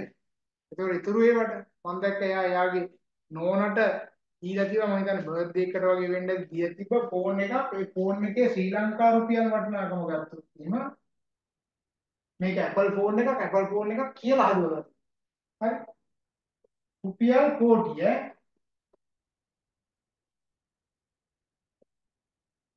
එක්දාස් පන්සීයක් විතර වෙනවා. දැන් ඉතින් මේකේ ඉන්න ගෑනු ළමයිට හිතෙන්න පුළුවන් මටත් එහෙම මහත්තයෙක් හිටියොත් කියලා නේද? හිතන්නකෝ ෆෝන් එක විතරක් රුපියල් කෝටි 1500යි. හරි යාට තෑග්ගක් දීලා තියෙනවා. දැන් හිතන්න තියෙන්නේ මේ තෑග්ග නෙවෙයි. කෝටි 1500ක් කියන එකට. ඒතර මේ බිරිඳ මේ මහත්තයාට මොනතරම් ආදරයක් නැද්ද නේද? කෝටි 1500ක් දෙන්න තරම්. දැන් අපේ සමහර නෝන්ලාට මහත්තුරු එච්චර ආදරේ නෑනේ. 110 ෆෝන් එකක්වත් තරම් දෙන්නේ නැහැ ඊයේ. ඔව් අපිට දෙනවා දෙන්නුවා දා චයිනීස් ෆෝන් තමයි දෙන්නේ. මහත්තුරු නෝන්ලාට අරන් දීලා. ඒ නැතිකම නෙවෙයි. ඒ ආදරේ අඩු වෙන්නේ සමහරවිට. ඒ නිසා ආදරේ ගොඩාක් තිබ්බොත් හොඳට තිබ්බොත් මේ වගේ කකුත් අරන් දෙයි ඕනේ ඈ. හරි ප්‍රශ්නයක් නැහැ මම මේ කිව්වේ සම්පත් ගැන කතා කරන්නේ. ඒ නිසා මතක තියාගන්න ලෝකයේ සම්පත් හිඟයි. ඒ හිඟ සම්පත් ලබා ගැනීම සඳහා අපි ෆයිට් කරන්න ඕනේ. හැම වෙලාවෙම තරඟ කරන්න ඕනේ. මං කියේ මුදල් කියන එක පහුගිය කාලේ ලංකාවේ තිබුණේ රුපියල් කෝටි ලක්ෂ 6ක් දැන් නම් ඒක ලක්ෂ 9ක් විතර වගේ ප්‍රමාණයක් වෙලා ඇති. ඒතොර මේ හිඟ සම්පත් මගේ කරගන්න මම හැම වෙලාවෙම උත්සාහ කරන්න ඕනේ. මම ඔයාලට කියන දේ තමයි මේ ලෝකයේ මිනිස්සුන්ගෙන් 90ක් විතර කම්මැලි විශේෂයෙන්ම කම්මැලි. ඒතොර 10ක් විතර තමයි 10ක් 12ක් වගේ ප්‍රමාණයක් තමයි උද්දීපනය වෙලා මහන්සි වෙලා වැඩ කරන තැන ඉන්නේ. ඒතොර ඇත්තටම ඒ අය කරන්නේ අර මිනිසුන්ට අයිති සම්පත් ටික ඒ අය ලබා ගන්න වැඩපිළිවෙලේ තමයි ඒ නිසා මහන්සි වුණොත් වෙන කෙනෙකුට අයිති වෙන්න තිබ්බ දෙයක් මට අයිති කරගන්න පුළුවන්. මොකද මට මුදල් ටික ඩොලර් ටික මගේ ළඟට එන්නේ මම මේ ලංකාවේ ඇතුලේ මම රුපියල් හොයනවා. රුපියල් හොයලා රුපියල් ටික මගේ කරගන්න ගමන් මට හිතුණා ඩොලර් කියලා જાතියකුත් තියෙනවා. මේ ලෝකෙම පාවිච්චි කරන දෙයක් තියෙනවා. ඒතර මට ඩොලරුත් ගන්න පුළුවන් නම් දැනට මං ගාව ඩොලර් නෑ. මට ඩොලර් නිෂ්පාදනය කරන්නත් බෑ. එහෙනම් දැනට මේ ලෝකේ තැන් තැන් වල ඩොලර් තියෙනවා. ඒතර මම කොහොමද ඩොලර් ටික මගේ කරගන්නේ කියලා මම හිතනවා දැන්. හරි. ඒතර මම හිතනවා රුපියල් ඇවිල්ලා ලංකාවේ ඇතුලේ තියෙන සල්ලි ටික ගන්න වැඩ පිළිවෙලකුත් මම ගාව තියෙනවා. හැබැයි මම මෙතනින් එහාට හිතනවා ඩොලර් ටිකකුත් මගේ ගානේ කොහොමද? මම පළවෙනි ඩොලර් මිලියන හොයාගන්නේ කවද්ද කියලා මම හිතනවා දැන්. හරි මම පළවෙනි ඩොලර් මිලියන හොයාගන්නේ කොහොමද? ඒ ඩොලර් මිලියනයක් හොයාගන්නේ ඩොලර් ලක්ෂයක් හොයාගන්නේ කොහොමද? ඉස්සෙල්ලාම මම ඩොලර් 10000ක් හොයාගන්නේ කොහොමද? මම හිතනවා මොකද මම ව්‍යාපාරික වශයෙන් දැනුම හැකියාව පාවිච්චි කරලා එක එක දේවල් එක්ක නේද? සම්බන්ධ වෙලා ඒක උපයා ගැනීම සඳහා හිතන්නේ. එයි. ඒතර හිඟ සම්පත. ඒතර අපේ රට ඇතුලේ ඩොලර් හිඟයි. ඒතර මේ හිඟේ මග හරවා ගන්න විවිධ ක්‍රමෝපායන් පාවිච්චි කරන්න පුළුවන්. ආයතනයක් තුල ඇතිවන ප්‍රශ්නවලදී සම්පත් හිඟකම හින්දා තමයි ගැටුම් ඇති වෙන්නේ. එතකොට හිඟ සම්පත් බෙදා හැරියොත් එහෙම සමානව ගැටුම් ඇති වෙන එක වළක්වා ගන්න පුළුවන්. දැන් හිතන්න විශ්වවිද්‍යාල පද්ධතිය වලින් ශිෂ්‍යෝ පාර්ථ බහිනවා. අපේ අපේ මැනේජ්මන්ට් පීටි අඩුපාඩු තියෙනවා. අපේ සයන්ස් එකේ තියෙනවා. අපේ ආර්ට් එකේ තියෙන අඩුපාඩු තියෙනවා. මේක කියලා පාර්ථ බහිනවා. ඒතර ඇත්තටම මේ අයගේ සම්පත් හිඟකමක් තියෙනවා. ඒ දේවල් දුන්නා නම් ගැටුම් ඇති වෙන්නේ. දැන් මේ මේ වෙනකොට පාර්ථ බහැලා කෑ ගහනවා. මහපොළ ශිෂ්‍යත්වය ප්‍රමාණවත් නැහැ. ඉතින් මහපොළ ශිෂ්‍යත්වය කියලා කියන්නේ සම්පතක් නේද? මුදල් සම්පතක්. ඉතින් ඒක අපි දුන්නා නම් ඒක ප්‍රසාරණය කරා නම් එයාලා මහා පාරට එන්න හේතුවක් නැහැ. දැන් ඒ විතරක් නෑ අර දින එකවත් වෙලාවට දෙන්නේ නැහැ නේද? දැන් ඒකවත් වෙලාවට දුන්නා ඒ ටික වැඩි කරා නම් පාරට එන්න තියෙන එකකට අඩු වෙනවා. ඉතින් මම නම් කියන්නේ විශ්වවිද්‍යාල ශිෂ්‍යෝන්ගේ තියෙන අඩුපාඩු ඒ ගැටුම් එයාලට ආවේනික ප්‍රශ්න ටිකක් තියෙනවා. ඒ ටික ඔක්කොම දෙන්න ඉස්සෙල්ලා. මම අධ්‍යාපන මැතිතුමා වුණා නම් කරන්නේ ඒකයි. ඉස්සෙල්ලා ඒ ටික දෙන්න. ඒ ටික ඔක්කොට විසඳුම් මොකද වෙන්නේ? ආය පාට බහින්න හේතුවක් නැහැ නේ. ඒතර කියන්න බෑ දේශපාලන කාරණාවක පාට බහින්නේ නැහැ. ඇත්තට මේ ප්‍රශ්න ටික විසඳලා තියෙනවා නම් එහෙනම් පාට එන්න උගනවන්නේ හරි. රයිට් ලියා ගන්න මෙහෙම. බොහෝ සංවිධාන.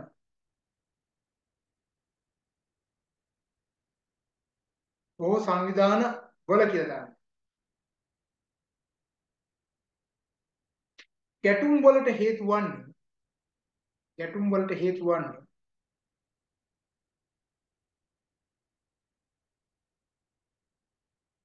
සම්පත්වල පවතිනා වූ සීමිත බවයි.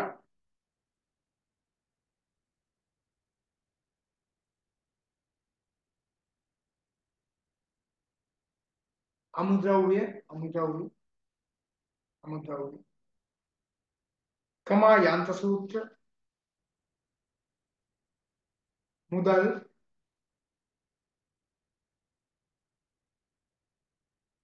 කමා සේවකීන්.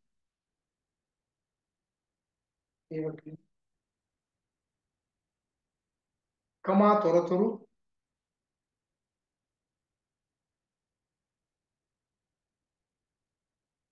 කමා සැපයුම් මාර්ග සැපයුම් මාර්ග කාලය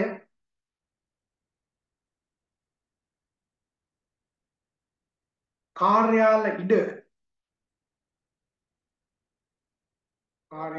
ඉඩ ආදී සම්පත්.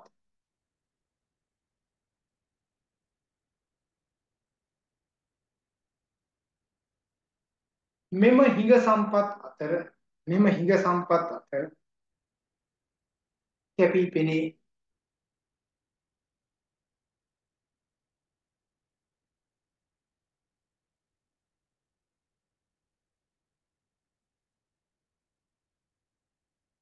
බොහෝ අවස්ථාවලදී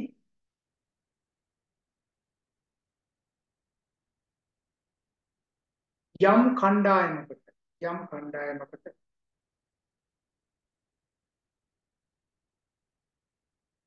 වැඩි සම්පත් ලබා දීමේදී වැඩි සම්පත් ලබා දීමේදී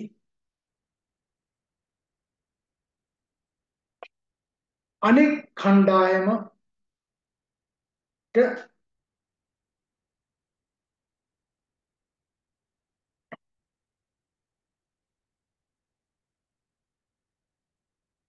ඒ වෙනුවෙන් සම්පත් කැපකිරීමට සිදුවේ.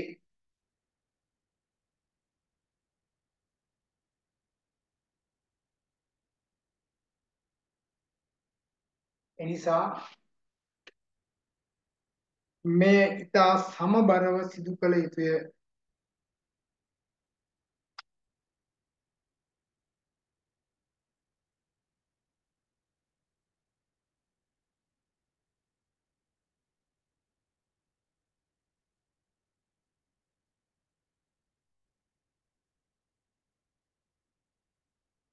හරි පැහැදිලි. ඕක ඇවිල්ලා ගැටුම් විසඳීමේ ශිල්ප. ඒ වගේම මම ඔයාලට කිව්වා යහපත් සහ අයහපත් ගැටුම් තියෙනවා කියලා. ඒ වගේම සමහර ඒවා හිතකර ගැටුම් තියෙනවානේ. බැරි වෙලාවත් හිතකර ගැටුමක් නම් සංවිධානය ඇතුලේ තියෙන්නේ. මේ හිතකර ගැටුම වර්ධනය කර ගැනීම සඳහා උත්තේජනය කිරීම සඳහා විවිධ වූ ශිල්පීය ක්‍රමත් පාවිච්චි කරන්න වෙනවා. ඒ සඳහා බොහෝ විට පාවිච්චි කරනවා අපි ගැටුම් උත්තේජනය කිරීමේ ශිල්ප ක්‍රම. කරුවක් දාලා කරුවක් කරුවක් දාලා ගියා ගන්න ගැටුම් උත්තේජනය කිරීමේ ශිල්ප ක්‍රම කියලා. ගැටුම් උත්තේජනය කිරීමේ ශිල්ප ක්‍රම.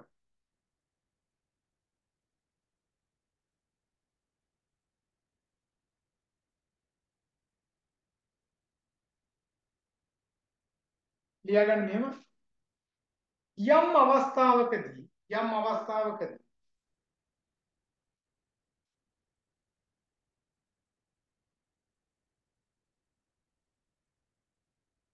සංවිධානයක් තුල සංවිධානයක් තුල සංවිධානයක් තුල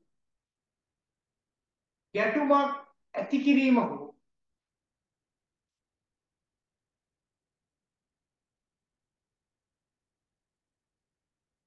ඇති වී තිබෙන ගැටුමක්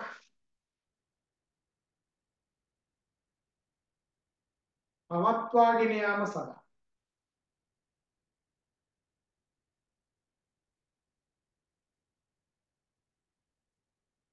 ගැටුම් උත්තේජනය කිරීමේ ශිල්ප ක්‍රම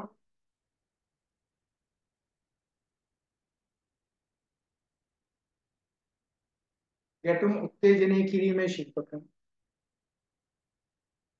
යොදා ගනී.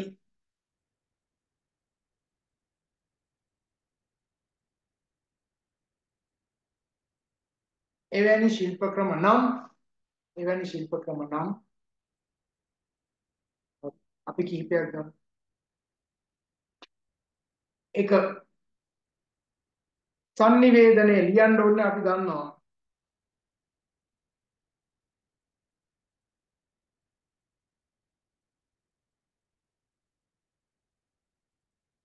දෙක බාහිර පුද්ගලයන් කණ්ඩායම තුළට රැගෙන ඒම.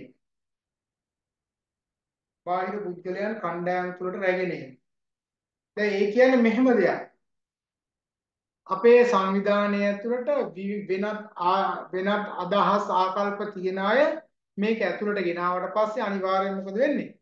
ගැටුම්කාරී තත්ත්වයන් නිර්මාණය කරගන්න පුළුවන්. එතකොට වෙනත්ම ආකල්ප අදහස් තියන අය මේක අසට ආපුවම එහෙම වෙනවා. දැන් අර දේශපාලනික වශයෙන් එයාලා කණ්ඩායම් පල්ලි ගහලා ඉද්දි ඒකට තව තව ආපුවම සමහර අය කඩාගෙන යන්නේ අපිට හරියන්නේ මෙයාලත් එක්ක අපිට ඉන්න බෑ කියලා නේද? එහෙම යන කණ්ඩායම් ඉන්න දැන් සමගි ජන බලවේගයේ හිටපු අය කඩාගෙන ගියා තව අය ආපු හින්දා අපිට එයාලත් එක්ක ඉන්න බෑ කියලා. පොඩ්ඩියන පෙරමුණේ හිටපු අය කඩාගෙන ගියා තව අය මේකට සම්බන්ධ වුණා කියලා නේද? එහෙම බෙදිලා යනවා. දැන් විශ්වවිද්‍යාල පද්ධතියක් ඇතුළට එහෙම ආපුවාම ගැටුම්කාරී තත්ත්වයක් ඇති කරගන්න පුළුවන්. හරි. බාහිර පුද්ගලයෝ ගේනවා ඇතුළට. ඒ බාහිර පුද්ගලයෝ ගෙනාවට පස්සේ ඔටෝමැටිකලි ගැටුම් නිර්මාණය කරගන්න පුළුවන්. හරි. තුන සංවිධාන ව්‍යුහය වෙනස් කිරීම. සංවිධාන ව්‍යුහය වෙනස් කිරීම. ඒක අපි කතා කරත් එක්ක ඉස්සෙල්ලා.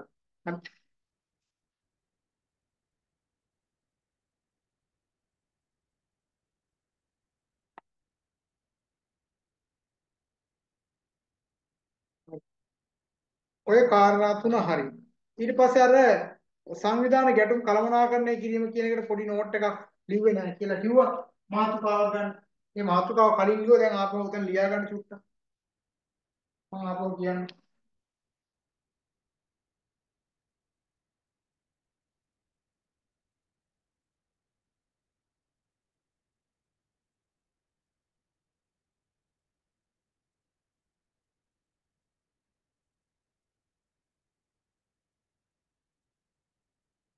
සංවිධාන ගැටුම් කළමනාකරණය කිරීම. හරි. කලින් කියන්න තිබ්බේ ගන්න ගිය සතියේ ලියලා ඒක ලියා ගන්න නැතුව මේ සතිය මම අහනකොට අහනකොට ඔයාලා සද්ද නැතුව හිටියා ඒ හින්දා මම ඉරු මාතෘකාව ලියුවා. හරි කමන්නේ. මේව ලියා ගමුකෝ. සංවිධාන කළමනාකරුවන් සහ සංවිධාන නායකයන් වශයෙන් සංවිධාන කළමනාකරුවන් සහ සංවිධාන නායකයන් වශයෙන්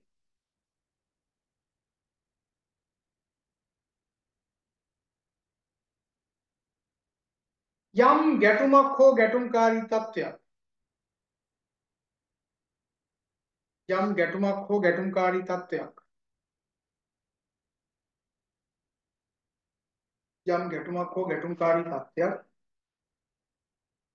කළමනාකරණය කරනු ලබන්නේ කෙසේද යන්නේ? කළමනාකරණය කරනු ලබන්නේ කෙසේද යන්නේ?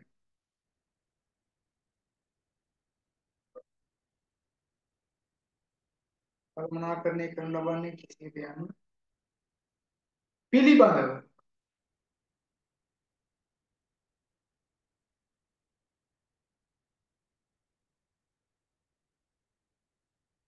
අවබෝධයක් ලබා ගැනීම සහ. අවබෝධයක් ලබා ගැනීම සහ.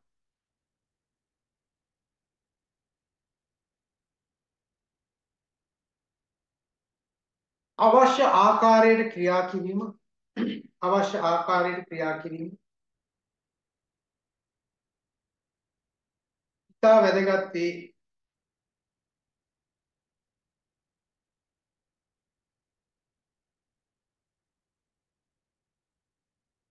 ඒ අනුව ඒ අනුව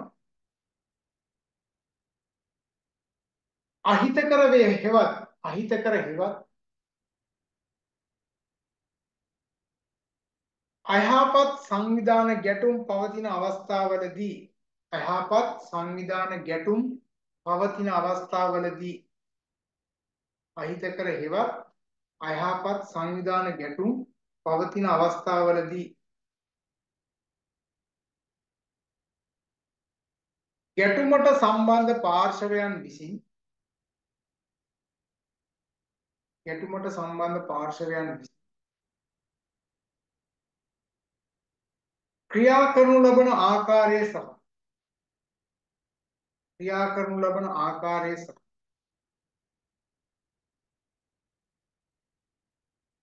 ඔවුන් කෙරෙහි යම් පාලනයක් කිරීමත්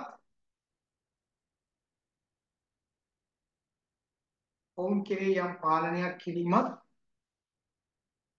තමා ඊතා අඩු මට්ටමක ඊතා අඩු මට්ටමක ගැටුම්කාරී තත්ත්වයක්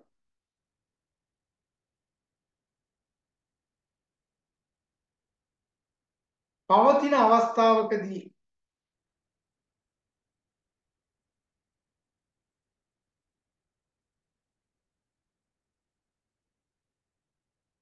එවැනි තත්ත්වයක් ආරෝපණය කිරීම සඳහා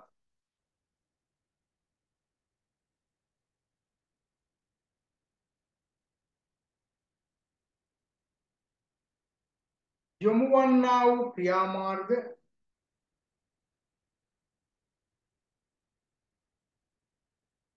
යොමු වන්නා වූ ක්‍රියාමාර්ග ගැටුම් කළමනාකරණයට අයත් වේ. ගැටුම් කළමනාකරණයට අයත් වේ.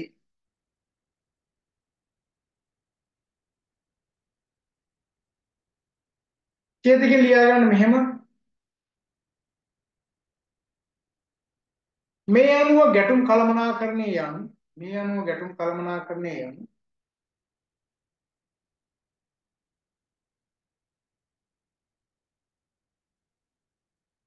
යම් අවශ්‍ය කරනු ලබන හෝ යම් අවශ්‍ය කරනු ලබන හෝ ආශා කරනු ලබන ආශා කරනු ලබන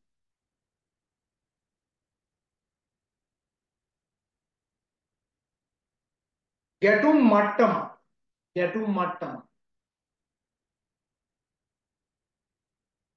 ළඟා කර ගැනීම සඳහා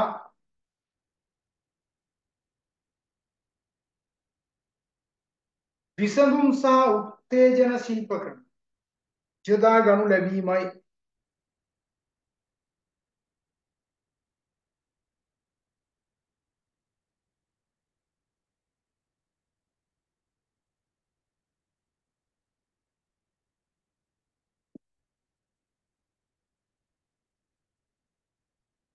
ඒ අනුව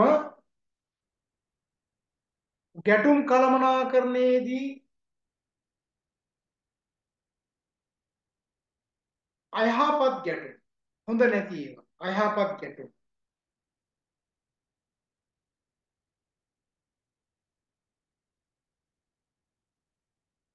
ඇතිවීම වළක්වා ගැනීමට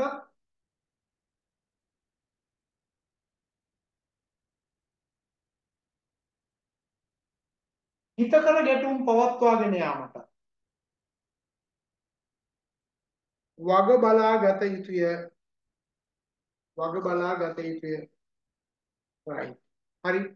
දැන් එහෙනම් මම ගැටුම් ගැන උතනින් කතා කරලා ඉවර කරනවා. ආයි ගැටුම් ගැන කතා කරන්නේ නැහැ. ගැටුමක් සඳහා බලපාන ප්‍රධාන පාර්ශවයන් දෙකක් ඉන්න ඕනේ නේද? පාර්ශවයන් දෙකක් එකතු වෙලා තමයි ගැටුමක් ඇති කරගන්නේ. එතකොට මේ ඇති කරගන්න ගැටුම හිත කරද අහිත කරද කියලා අපිට බලන්න පුළුවන් සමහර ගැටුම් හිත කර වෙන්න පුළුවන් සමහර ඒවා අහිත කර වෙන්න පුළුවන්. හරි? සමහර ගැටුම් හිත කරයි සමහර ගැටුම් අහිත කරයි. එතකොට හිත කර සහ අහිත කර ගැටුම් නිර්මාණය වෙන්නේ ඒ ඒ එකිනෙක පාර්ශවයන්ගේ අදහස් තීරණ ක්‍රියාත්මක වීම තුල හරි? එතකොට සංවිධානයක් ඇතුලේ මතක තියාගන්න අහිතකර ගැටුම් නැති කරන්න වග බලා ගන්න. හිතකර ඒවා ඇති කරන්න සහ පවත්වාගෙන යන්න වග බලා ගන්න ඕනේ. ඕක තමයි ඔය කිව්වේ ඔච්චර වෙලා. වෙන මොනවද මේ කිව්වේ? ඕක කිව්වේ ගැටුම් ඇතිවීම සඳහා බලපාන කාරණා ගොඩාක් තියෙනවා. අනිවාර්යයෙන්ම අපේ පුද්ගලයන්ගේ පුද්ගල සාධක වෙනස් වීම තුළ සංවිධාන ව්‍යුහය වෙනස් වීම තුළ බොහෝ අවස්ථාවන්වලදී ගැටුම්කාරී තත්ත්වයන් නිර්මාණය වෙනවා. ඒතර ගැටුමකට මූලික වෙච්ච අවස්ථා සම්බන්ධ වෙච්ච අවස්ථා ඔයාලා ඕන තරම් තියෙනවා ඒක gederin පටන් ගත්ත එකක් වෙන්න පුළුවන් නේද ඔයාලා යාළුවොත් එක්ක මොන තරම් ගැටුම් ඇති කරගෙන තියෙනවා. යාළුවොත් එක්ක තරහ වෙලා නැද්ද? බැනගෙන නැද්ද? ඕන තරම් තියෙනවා. ගෙදර ඈත් එක්ක දැන් Tamanට කණ්ඩ බොණ්ඩ දීලා රැකවරණය දෙන දෙමව්පියොත් එක්ක මොන තරම් ගැටුම් ඇති කර ගන්නවද? නේද? ඒතොර ඒ අය තමයි අපි ඔක්කොම බලන්නේ. හැබැයි ඒ අයත් එක්කත් අපි ගැටුම් ඇති කරගන්නවා. ඒක මතවාදී ගැටුම් කියන්නේ. මං කියන ඒවා එයාලා පිළිගන්නේ එයාලා කියන ඒවා මං පිළිගන්නේ මගේ අදහස් තමයි එයාලා ක්‍රියාත්මක කරන්න ඕනේ කියලා මම හිතාගෙන ඉන්නවා එයාලා හිතාගෙන ඉන්නව නෑ නෑ මම ක්‍රියාත්මක වෙන්න ඕනේ එයාලගේ අදහස් වලට අනුව කියලා. ඉතින් මෙහෙම ගත්තට පස්සේ අවසානයේ අපි දෙගොල්ල දෙගොල්ල අතරේ ගැටුම්කාරී තත්ත්වයක් නැති කරගන්නවා මත වේගාත්මකව. ඒ නිසා පොඩි එකෙක් ගාව ඉන්නකොට අර හොඳටම තේරෙනවා පොඩි එකා කෑ ගහ හඬන්නේ ඇයි? එයාගේ මතේ ක්‍රියාත්මක කරන්න බැරි වුණාම පොඩි එකා හඬන දිගට හරහා. නේ ඒ වෙලාවේ අපි මොකද කරන්නේ? පොඩි එකා අපි කියන විදිහට ඉන්නේ නැහැ කියලා තව එකක් අපි පොඩි එකාට හයියෙන් ගන්නවා. ඒ පොඩි එකා ආයෙත් හයියෙන් හඬනවා. ඒ පොඩි එකා හිතේ තියන් ඉඳලා මේ වෙලාවේ ගැහුවා නේද කියලා හිතේ තියන් ඉඳලා නැවත අවස්ථාවක් වම පෙරලා ආපහු අපිට පහර දෙන්න වෙලාවක් තියෙනවා. හරි. ඒ පොඩි එකා තමන්ගේ මතය ක්‍රියාත්මක කිරීම සඳහා අඬලා කෑ ගහනවා ලොකු එකා මතේ ක්‍රියාත්මක කිරීම සඳහා අඬන්නේ ඒ වෙනුවෙන් පොඩි එකා කරපු දේ ප්‍රතිවිරුද්ධව ලොකු එකා පහර දීමක් දීලා හරි තමන්ගේ මතේ ක්‍රියාත්මක කරපාන් කියන තැනට ගේන්න උත්සාහ කරනවා. ඉතින් මේ ලෝකයේ තුල සිද්ධ වෙලා තියෙන ඕකමයි බලවතා සහ දුබලයා අතර ඇති වෙන ප්‍රශ්නයක් තමයි හැම වෙලාවෙම ගැටුමක් තුල තියෙන්නේ. බලවතා තමන්ගේ මතය දුබලයාට කියන මෙන්න මෙහෙම ක්‍රියාත්මක කරපන් කියලා. එතකොට දුබලයා ඒක බෑ කිව්වොත් එහෙම තමන්ගේ බලය ක්‍රියාත්මක කරලා දුබලයා බලෙන් ඒකට මතු කරගන්න. හරි. ඒතකොට දුබලයාට සිද්ධ වෙන එක බලින්ම කරන්න. ඒතකොට ප්‍රබලයා හැම වෙලාවෙම උඩ උඩ උඩ යන්න යන්න බලය ඒක රාශි කරගෙන කරගෙන කරගෙන යනවා. බලය කියලා කියන්නේ මොකද කියන මුදල් කියන්නේ බලයක්, දැනුම කියන්නේ බලයක්. මේවා ඒක ඒක රාශි කරගත්තට පස්සේ අනිත් පැයට බලපෑම් කරන්න පුළුවන්. ඒතර මම නම් මේ සමාජය තුල හැකි ඉක්මනින් මම දැනුම එකතු කරගත්තා වගේ ධනයත් එකතු කරගෙන මම මගේ බලය වැඩි කරගන්නවා. ඒතර මට අනිත් පැයට බලපෑම් කරන්න තියෙන ඉඩකඩ වැඩි. සල්ලි නැති මිනිස්සෙක් කියනකට වඩා සල්ලි තියෙන මිනිස්සෙක් ගිහලා මොනවා හිතුනොත් පිළිගන්න. දැන් අද සමාජය බලන්නකෝ. සල්ලි තියෙන මිනිස්සු කණ්ඩායමක් ඉන්නවා. ඒ සල්ලි තියෙන මිනිස්සු කණ්ඩායම වලට ආරාධනා හම්බෙන පාසල් වලට එන්න කියනවා. විශ්වවිද්‍යාල වලට එන්න කියනවා. දේශනාවලට සම්බන්ධ වෙනවා නේද? උත්සව සංවිධානය කරනවා. ඒවා ගිහලා මුලසුන ඉඳ ගන්නවා නේද? සමහරවල් ඉස්කෝලේ ගිහිල්ලා නැහැ. හැබැයි සල්ලි තියෙනවා. ඒ කියන්නේ සම්පත් ඒක රාශී කරගෙන ඒ හරහා බලය ගොනු කරගෙන තියෙනවා. තව සමහරක් වෙන සල්ලි නෑ. මහාචාර්යවරු ඉන්න සල්ලි නෑ. හැබැයි ඒ අය ওই කියන උත්සව වලට යනවා. ප්‍රධාන මුලසුන හම්බ වෙනවා. නේ කතා බහ කරනවා. එහෙම කරනවා. ඒතකොට එයාගේ දැනුමත් එක්ක එයා එතන ගිහිල්ලා. ඒතර කාට හරි පුළුවන් නම් දැනුමයි මේ මුදලුයි කොහොම එක රාශි කරගත්තාට එයා අනිත්‍යයට වඩා වඩා ඉතින් දැන් අද ඉන්න ඔය සමහර පෞද්ගලික ගුරුවරු බලන්නකො ටියුෂන් කරන ගුරුවරු. පුදුමාකාර විදිහට ඉන්නේ නිකන් බල පරාක්‍රමයක් නැති ඇමතිවරුන්ට වඩා සුඛෝපභෝගී වාහන පදින්න නේද ආරක්ෂාවට වෙනම කණ්ඩායම් ඉන්නවා. ඒ ඒ තම තමන්ට කියන වෙනම ටියුෂන් හෝල් හදාගෙන ඒවා ඒසි කරලා නේද හිතා ගන්න බෑ.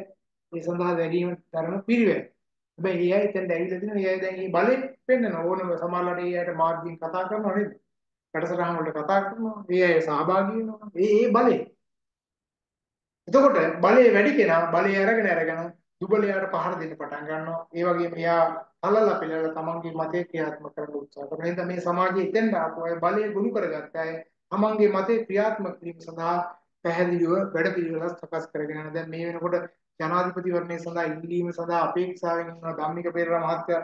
පාරට බහලා යනවනේ වැඩසටහන් ගණනාව කියන්නේ. තමන්ගේ ධනෙ බලය පාවිච්චි කරලා නේද? ඊට මම දැක්ක තව අර දෙරණ මාධ්‍යචාලී හිමිකාරයා නේද? අයිතිකරු නේද?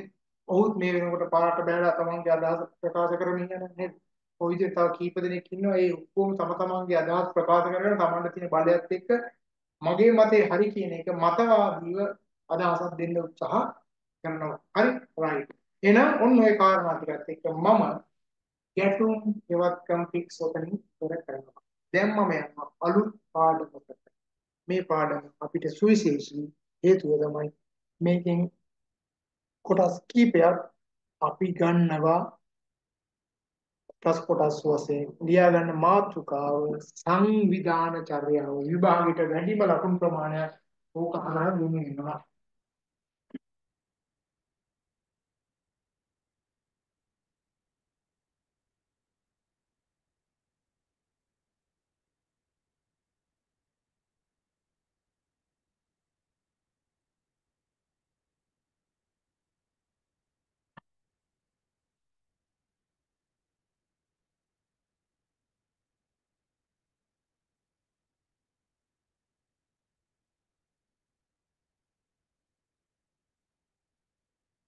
එතකොට ඔයාලත් එක්ක මම සංවිධාන චර්යාව ගැන කතා කරන්න එනකොට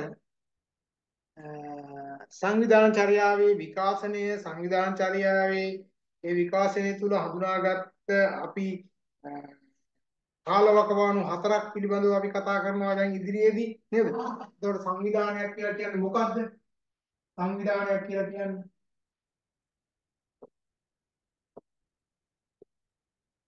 ලාභ ලබා ගැනීමේ අපේක්ෂාවෙන් යුතුව ක්‍රියාත්මක කරන ලබන ආයතනයක් අපිට සංවිධානයක් කියලා ගන්න පුළුවන්. ලාභ ලබා ගැනීම අපේක්ෂාවෙන් තමයි සංවිධානය ක්‍රියාත්මක කරන්නේ. මේ සංවිධානය ඇතුලේ ඉන්නේ මිනිස්සු. ඒතකොට මේ මිනිසුන්ගේ චර්යාව වෙනමම අධ්‍යයනය කරන්න ඕනේ. අපි ඒ නිසා සංවිධාන චර්යාවේදී මිනිසුන්ගේ චර්යා රටාවන් පිළිබඳව සොයා බැලීමක් අපි මේකෙදී කරනවා. ඒතකොට සංවිධාන චර්යාවේ ප්‍රධාන විකාශනයේ 1800 ඉඳන් 880 880 1930 1930 1960 සහ 1960න් පස්සේ විදිහට යුග හතරකට බෙදලා විද්‍යාත්මක කළමනාකරණයට පෙර යුගය සම්ප්‍රදායික යුගය චර්යාත්මක යුගය සහ චර්ය වර්තමාන යුගය කියලා යුග හතරක් යටතේ අපි මේ සංවිධාන චර්යාව ඉගෙන ගන්න බලාපොරොත්තු වෙනවා ඉදිරියේදී.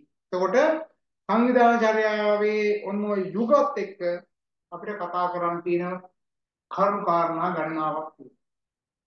එහෙනම් මිනිස්සුන්ගේ චර්යාව සංවිධාන චර්යාව මේ කියන චර්යාවන් අනිවාර්යයෙන්ම අපිට වැදගත් වෙනවා.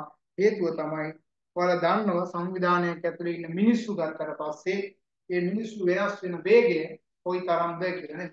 මිනිස්සු ඉතා ඉක්මනින් වෙනස් වෙනවා. මේ ඉක්මනින් වෙනස් වෙන මිනිසුත් එක්ක වැඩ කරන එක තරම් ලේසි වෙන්නේ නැහැ. දැන් ඔයාලට මේ මොහොතේ එන සිතුවිල්ල නේ තව ටිකකින් දැන් එකපාරට මේකේ ආ සමහරවල්ලාට ෆෝන් එකෙන් ලෙක්චර් එක අහන ගමන් ඉන්න ගමන් හිතනවා නම් නෑ මේ ෆෝන් එකේ තියලා ගිහලා ඔබ එකක් දීලා එන්න කියලා. නෑ මම පොඩ්ඩක් කෑම කාලා එන්න ඕනේ. නේද? එහෙම වල යන්න පුළුවන් එන්න පුළුවන් නේද? ඒතකොට ඒවා කරනකොට ඔයාගේ චර්යාවන් කොච්චර වෙනස් කරනවද? දැන් සමහර අය මේක හෙඩ්ෆෝන් එකක් දාගෙන ඉන්න පුළුවන් සමහර ලාට හෙඩ්ෆෝන් එකක් නැතුව ඉන්න පුළුවන්. ඒතර නෝට් එක ලියා ගන්න පුළුවන් නැත්නම් පස්සේ නෝට් එක ලියා ගන්න සලස්ස ගන්න පුළුවන්. හරි? නේද? ඒතර එක එක චර්යා රටාවක් තියෙනවා. දැන් මේකේ සමහර ලාට ඉඳගෙන ඇති නිදාගෙන ඇති නේද? සමහර ලාට හිටගෙන ඇවිද ඇවිද ඉන්න ගමන් මේක අහනවා වෙන්න පුළුවන්. එමත් කරනවානේ නේ.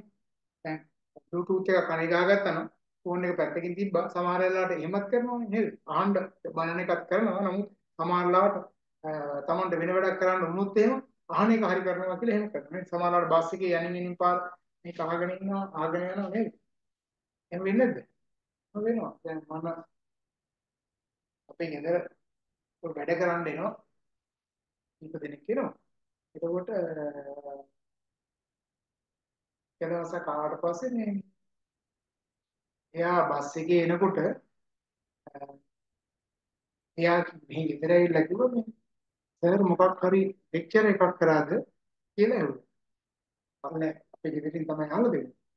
ඊට පස්සේ ඔහු කිව්වට පස්සේ ඇයි කියලා වොම නෑ එයා ආපු බස් එකේ ගෑනු ළමෙක් සීට් එකේ ඉඳගෙන ෆෝන් එකේ මේක අහගෙන ආනවා. දිවරෝ මේ අපේ කවුරු හරි ඉගෙන ගන්න කෙනෙක් වැඩට යන පාර වෙන්නේ. ඉතින් වැඩට යන පාර ලෙක්චර් එක නැත්තම් ගමනක් කරනකොට මෙයා ෆෝන් එකේ මේක අනේ ගහගෙන යනකොට අර පින්තූරේ තියෙනවා. මෙයා එතන හිටගෙන ඇවිල්ලා තියෙන්නේ. ඒතර මෙයාට මේ හිතර මෙයා තිනේ ෆොටෝ දාලා බලලා තියෙනවා. බලනකොට මෙයා දැකලා තියෙනවා මගේ රූපේ පේලා තියෙනවා මේක. ඒතර මම මේ කියන්නේ මොකක්ද වෙන්නේ? ඒක එක තරකට සීමා වෙන්නේ නැහැ නේද? අපි කරන කරන තැනත් එක්ක ඉන්නතන චර්යාව කියන එක හිතා ගන්න දැන් සමහරවල්ලාවට දැන් අපි සහභාගී වෙන දේවල් අපි ආසා කරන දේවල් නේද කොච්චර තියෙනවද දැන් ඊයේ දවසේ පෙරේද දවසේ අපි ඊළඟ කොන්වර්සේෂන් එකේ ඩේට් එක සම්බන්ධයෙන් කතා කරා ළමයි එක්ක දැන් ඒකෙදි සහභාගී වුණා පිටරට ඉන්න ළමයි. ඒ ලංකාවේ ඉඳලා දැනට පිටරට ගියා ඉන්නවා පිටරට ගිහිල්ලා අවුරුදු ගාණක් ඉන්න ඉන්න මේ මේ අපේ පාඨමාලාව ඔන්ලයින් කරා එහෙම ඉගෙන ගන්න. හරි. ඒතකොට ඒකේ ළමයි කීප දෙනෙක් ඉල්ලීමක් කරා කොන්වොකේෂන් එකේ ඩේට් එක කලින්ම ෆික්ස් කරලා දෙන්න. එයාලා රටේ ඉඳන් එන්න ඕනේ. හරිද? ඒතර බලන්න එයා ආස කරන දේවල්. ඒ අතර දැන් ලංකාවේ ඇතුළේ ඉන්න සමහර අයට ලංකාවේ ඇතුළේ ඉන්න සමහර කෙනෙකුට ඒ සඳහා නෑ යන්න ඕනේ නෑ සර්ටිෆිකේට් එක විතරක් මම ගන්නවා. ඊ ඇති. ආයෝක මොකටද නටන්නේ? එහෙම හිතන ඇති. ඊයතර අර මං කිව්වේ කොන්වොකේෂන් එක සඳහා අපි ගන්නේ රුපියල් 7500යි. හැබැයි කොන්වොකේෂන් එක සඳහා 175000ක් වියදම් කරන අය ඉන්නවා. බොහෝ අය රුපියල් 67000ක් වියදම් කරනවාමනේ කොන්වොකේෂන් එකට. ඒයි ප්ලෑන් එකක් ගන්නවා, සැලොන් එකට යනවා නේද? ඊට පස්සේ ඒ කවුන්සිලින් එකේ කොන්වර්සේෂන් ඩේට් එක ලොකේෂන් ෆික්ස් වුණාද? ඔය එක තමයි මම කියන්නේ. ඒකේ ලොකේෂන් එක අපේ BMICH එකටම බොහෝ ළමයි යම් කිව්වෙන් එතෙන්ට යනවා. ඩේට් එක දැනට ජූනි 2 වෙනිදා කියන එක හෙට තමයි හරියටම ඒක ෆික්ස් වෙන්නේ. දෙවෙනිදා හෝ ඒ ආසන්න දවසක් වෙයි. හරි මම මේ කියන්නේ චර්යාව නේද? කෙනෙක්ගේ චර්යාව. මම කිය කෙනෙකුට උපාධි එකක් ඇති කියලා හිතනවා. තව කෙනෙකුට නෑ නේ උපාධි දෙකක් ඕනේ කියලා හිතනවා නේද? ඩිප්ලෝමා හතරක් පහක් තිබුණොත් හොඳයි කියලා හිතනවා. ඒතර ඒ විදිහට යනවා ඉස්සරහට. මිනිසුන්ගේ චර්යාව. දැන් හිතන්නකෝ මට කවුරු හරි ආයතනයකින් මට එන්න කියලා කියනකොට ඇයි මම මම මාව ඒ ආයතනයට ගන්න උත්සාහ කරන්නේ? මම නිකන් නළුවෙක් වගේ එහෙම ලස්සන පොරක් නෑ මේ ඒක රූපේ මගේ රූපේ පේන්නලා විතර ගන්න පුළුවන් කියලා හිතනවා එහෙම කතා කරනවා. එහෙම නැත්නම් මට කතා කරන්නේ ඇයි? මගේ වටපිටාව ඔක්කොම දැනගත්තොත් එයා දන්නවා මම ඉගෙන ගන්න ගත්ත කෙනෙක්. ඒතකොට ඉගෙන ගත්ත කෙනෙක් තුල විශේෂ ගණනාවක් පැත්තෙන් මම ඉගෙනගෙන තියෙනවා. ඇත්තට මේ ඉගෙනගත්ත දේවල් එක එයාගේ ව්‍යාපාරට මගේ දැනුම පාවිච්චි කරන්න පුළුවන් කියලා එයා විශ්වාස කරනවා. ඒ අනුව එයා මට ලන්සුවක් දීලා කියනවා මෙන්න මගේ ආයතනේ මෙන්න මෙහෙම සහභාගී වෙන්න නේ. තියෙනවා තියෙනවා කලින් බැච් වල කොන්වර්සේෂන් වීඩියෝ තියෙනවා ඔයාලට ගිහිල්ලා ડોක්ටර් සිරිස සල්ලප්පාරච්චි කියන එකේ ගිහිල්ලා යන්නකො ඔක්කොම සම්පූර්ණයම තියෙනවා. ඔව් එකම දවසේ තමයි කොන්වර්සේෂන් තියෙන්නේ. ඉංග්‍රීසි IT ඉංග්‍රීසි ඉත්‍යාරින් කවුන්සිලින් තුනම එකම දවසේ තියෙනවා. මම මේ කියන්නේ ඒතකොට චර්යා රටාවනේ. චර්යා රටාව ඇතුලේ ගිහිල්ලා බලන්න පුළුවන්. ඒතකොට දැන් අපි මම දැන් ඔයාලත් එක්ක චර්යා රටාව වෙනස් කිරීම සඳහා දැන් ඉදිරියේදී කතා කරනවා අපේ පළවෙනිදා හිතාගෙන ඉන්නවා රුවන්වැලි මහසෑයට වඳින්න බැරි යන්න එන්න බැරි වයසක අය සැලකිලි ප්‍රමාණය කඩ ගහන් ගිහලා වන්දවන්න වැඩසටහනක් මම හිතාගෙන ඉන්නවා නේද? ඒකට ඔයාලට සහභාගී වෙන්න පුළුවන්. එතකොට එදා දවසේ සහභාගී වෙනකොට ඒ ළඟපාතේ ඉන්න ඒ වගේම කණ්ඩායමක් විදිහට යනවා නම් වාහනයක් අරගෙන යන්න පුළුවන්. අනුරාධපුරේ ගිහිල්ලා අපිට අරගෙන යන්න පුළුවන්. මේ පාරත් අපි බස් එහෙම දැම්මා. ඒතකොට ඒක මම ලබන සතිය හරියටම කියනවා. හරි ලබන සතිය හරියටම කියන ඒ වගේම මේකත් මට අමතක වුණොත් කියලා මම මේ දැන් කියන්නේ. ලබන සතිය ඉදිරියට නෙමෙයි අපි ලෙක්චර් එක කරන්න වෙන්නේ එක්ක සෙනසුරාදා එහෙම නැත්නම් බ්‍රහස්පතින්දා හවස. හරිද? ලබන සතියේ මට විශේෂ කාරණාවක් සඳහා යන්න වෙලා තියෙනවා. ඒ නිසා ටයිම් එක වෙනස් කරන්න වෙයි. මම ඔයාලට දැනුවත් කිරීම හරියටම කරන්න. අනිත් එක බ්‍රහස්පතින්දා හවස තියෙනවා නම් 6 මාට මම දාන්න. එහෙම නැත්නම් සෙන්සුරාදා දාන්න පුළුවන් වෙලාවක් තිබුණොත් මම සෙන්සුරාදා දාන්න ලබන සතියේ විතරයි ඈ. ඒ නිසා චර්යා රටාව ඩිප්ලෝමා හතරම කරනවා නම් නෑ නෑ එහෙම ගෙවන්න ඕනේ නෑ. ඩිප්ලෝමා හතරම කරනවා නම් ඔයාලට එහෙම ගෙවන්න ඕනේ නෑ. ඒකට එක ඩිප්ලෝමා එකේ 7500ට අමතරව අනිත් ඒවා වගේ කාස්කට් එකටයි මෙඩල් එකටයි විතරයි ගෙවන්න ඕනේ. වෙන ගෙවන්න වෙන්නේ නෑ. කාස්කට් එකයි මෙඩල් එකයි ඉෂුව කරනකොට ඒකට අදාළව ගෙවීම විතරයි කරන්න වෙන්නේ. අනිත් ඔක්කොම නිදහස් වෙනවා. හරි. කොන්වර්සේෂන් එක සම්බන්ධව මීටින් එකක් තියෙනවා 29 වෙනිදා වෙන්න ඕනේ. එතන විදිහට 29 අවස වගේ දාලා ඇත්තේ. ඒක දැනුවත් කිරීමක් කරන්න ඒකට සහභාගී වෙන්න. මම මේ කියන්නේ ඔයාලට දැන් ඔයාලා මේ ඔයාලත් මේ අවුරුද්දේ අවසානයේ කොන්වර්සේෂන් එකට සහභාගී වෙනවනේ නේද? මේ අවුරුද්ද ඉවර වෙද්දී ඔයාලා සර්ටිෆිකේට් එක ගන්නවා. හරි? එහෙනම් අ පුළුවන් නම් සෙන්සුරාදාට පන්තිය දාන්න. සෙන්සුරාදා රැ වුණාට කමක් නැද්ද එහෙනම්? ප්‍රශ්නයක් නැහැ රැ හරි උදේ හරි කමක් නැහැ. මම සෙන්සුරාදා දවසේ try එකක් දෙන්නම්. මොකද මට තියෙන ටයිම් ටේබල් එකත් එක්ක මම ගන්න උත්සාහ කරන්න.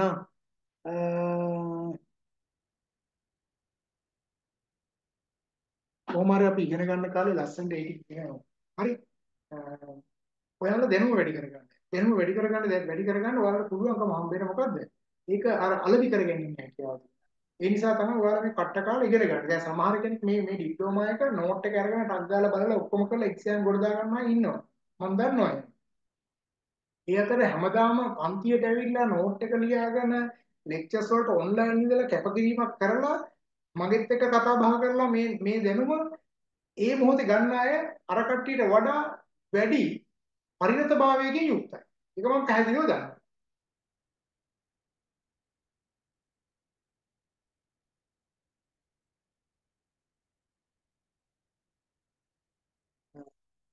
එතකොට මේ පරිණතභාවය ළඟා කර ගැනීම සඳහා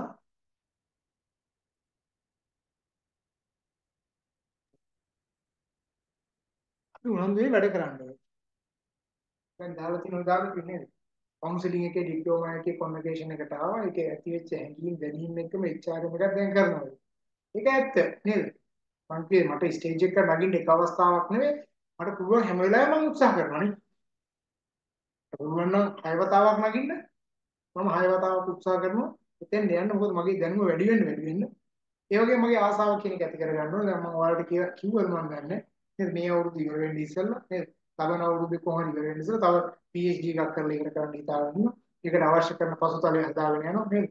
මේ වෙන රිසර්ච් කීපයක් කරනවා. ඒකට ඒව කරනවා. ඒව ඒව නොකර ඉන්නත් පුළුවන්. එකක් නෑ. හැබැයි දැනුම වැඩි කරගන්න වැඩි කරගන්න නේද? ගොඩාක් දේවල් අපිට කරන්න පුළුවන්. මම දැනුම වැඩිපුර ගත්තොත් එහෙම ඒ දැනුම මට ඔයාලත් එක්ක බෙදා හදාගන්න. නේ? ඒ නිසා ව්‍යාපාර තමන්ගේම ව්‍යාපාරයක් වේවා අනුන්ගේ ව්‍යාපාරයකට සම්බන්ධ වේවා මේ සමාජ සත්කාර ක්‍රියාවන් වල සම්බන්ධ වෙන්න පුළුවන්. ඒ හැම එකක්ම අපි කරමු.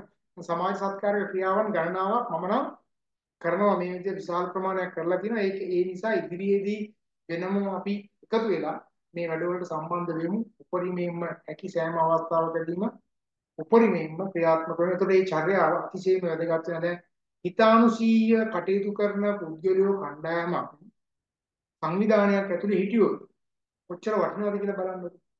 මේ සංවිධාන පද්ධතිය දැන් සති තුනක් සති තුනකට කලින් මම අපේ ගෙදර ඉන්නකොට මිඩ්වයිෆ්ලා දෙන්නෙක් ආවා අපේ ගෙදරට. හරිද? ඇයි ආවේ? මම එයාලා ගර්භණී කාන්තාව උදෙසා හරිද? වැඩසටහනක් සංවිධානය කරලා ආණ්ඩුවෙන් ඒකට සල්ලි දෙන්නම් කියලා. දැන් එයාලා වැඩසටහන ලෑස්ති කරලා ඔක්කොම කරාට පස්සේ ප්‍රාදේශීය ලේකම් කාර්යාලය හරහා ඒකට ප්‍රතිපාදන දෙන්න බෑ කියලා. ඊට පස්සේ එතන හිටපු එක්කෙනෙක් ටිකක් මාව දන්නවා ඔය යන එනකොට මම පිළිලෙට යනවනේ. යන එනකොට දන්න නිසා එයා ඔයාලට කිව්වොත් උදව්වක් කරයි කියලා හිතාගෙන ආව අපේ ගෙදර මාව හොයාගන්න. ඇවිල්ලා බොහොම අර බෙගෑපත්ව මෙහෙම දෙයක් තියෙනවා මොකද කරන්න සල්ට පුළුවන් උදව්වක් දෙන්න මෙහෙමයි කියලා වැඩසටහනක් කිව්වා. ඉතින් අර 100ක් විතර ගෙනල්ලා නේද ඒක ලොකු වැඩසටහනක් කියලා. හැබැයි ආණ්ඩුවෙන් අර දෙනවා කිව්ව දේ දෙන්න දෙන්න මේ වැඩසටහනක් කරන්න බැරි වෙනවා. අර අම්මලා වෙනුවෙන් කරන ලොකු දෙයක් නේ. ඉතින් යාලට කන්න බොන්න දීලා ලොකු දවසේ වැඩසටහන. හැබැයි මම මේ කියන්නේ අර අර දෙන්න ඊට පස්සේ එතන හිටපු මේ දෙන්නේ කිව්වලු නෑ නෑ අපි එළිය ගිහිල්ලා ඇවිදලා හරි සල්ලි ටික හොයලා මේ වැඩසටහන කරමු කියලා. කාගෙන් කාගෙන් හරි එකතු කරගන්න. හැබැයි එහෙම ආකල්පයක් තිබ්බ හින්දා අර දෙන්න මාව හොයාගන්න. හරි දෙන්න මාව හොයාගන්න. ඊට පස්සේ මම කොහොම විස්තරය අහලා ඔක්කොම කරලා ඊට පස්සේ මම ඒ දෙන්නට කිව්වා ආයෙ ඔයාලා පොඩක් යන්න ඕනේ නැහැ. දැන් යන්න. මොකද ඕන කර සිටපු දේවල් මම ලෑස්ති කරලා දෙන්නම් කියලා. ඊට පස්සේ පින් දීලා පින් දීලා ගියා. ඒදා වැඩසටහන මට යන්න ඕනේ නැහැ මගේ වෙන වැඩක් තිබුණ හින්දා ඒ අවශ්‍ය කරන දේවල් ටික මම ඔක්කොම ලෑස්ති කරලා දුන්නා. මම මේ කියන්නේ ඒක ඇතුලේ ආපු ආපු අය මන් දන්නේ ආපු අය සහිත හිටපු අය මන් දන්නේ හැබැයි අර දෙන්න විතරයි මම දන්නේ. නමුත් මිනිසුන්ගේ ආකල්ප වෙනස් කරන්න හැකියාව හම්බ වෙනවා. අර දෙන්න නේද?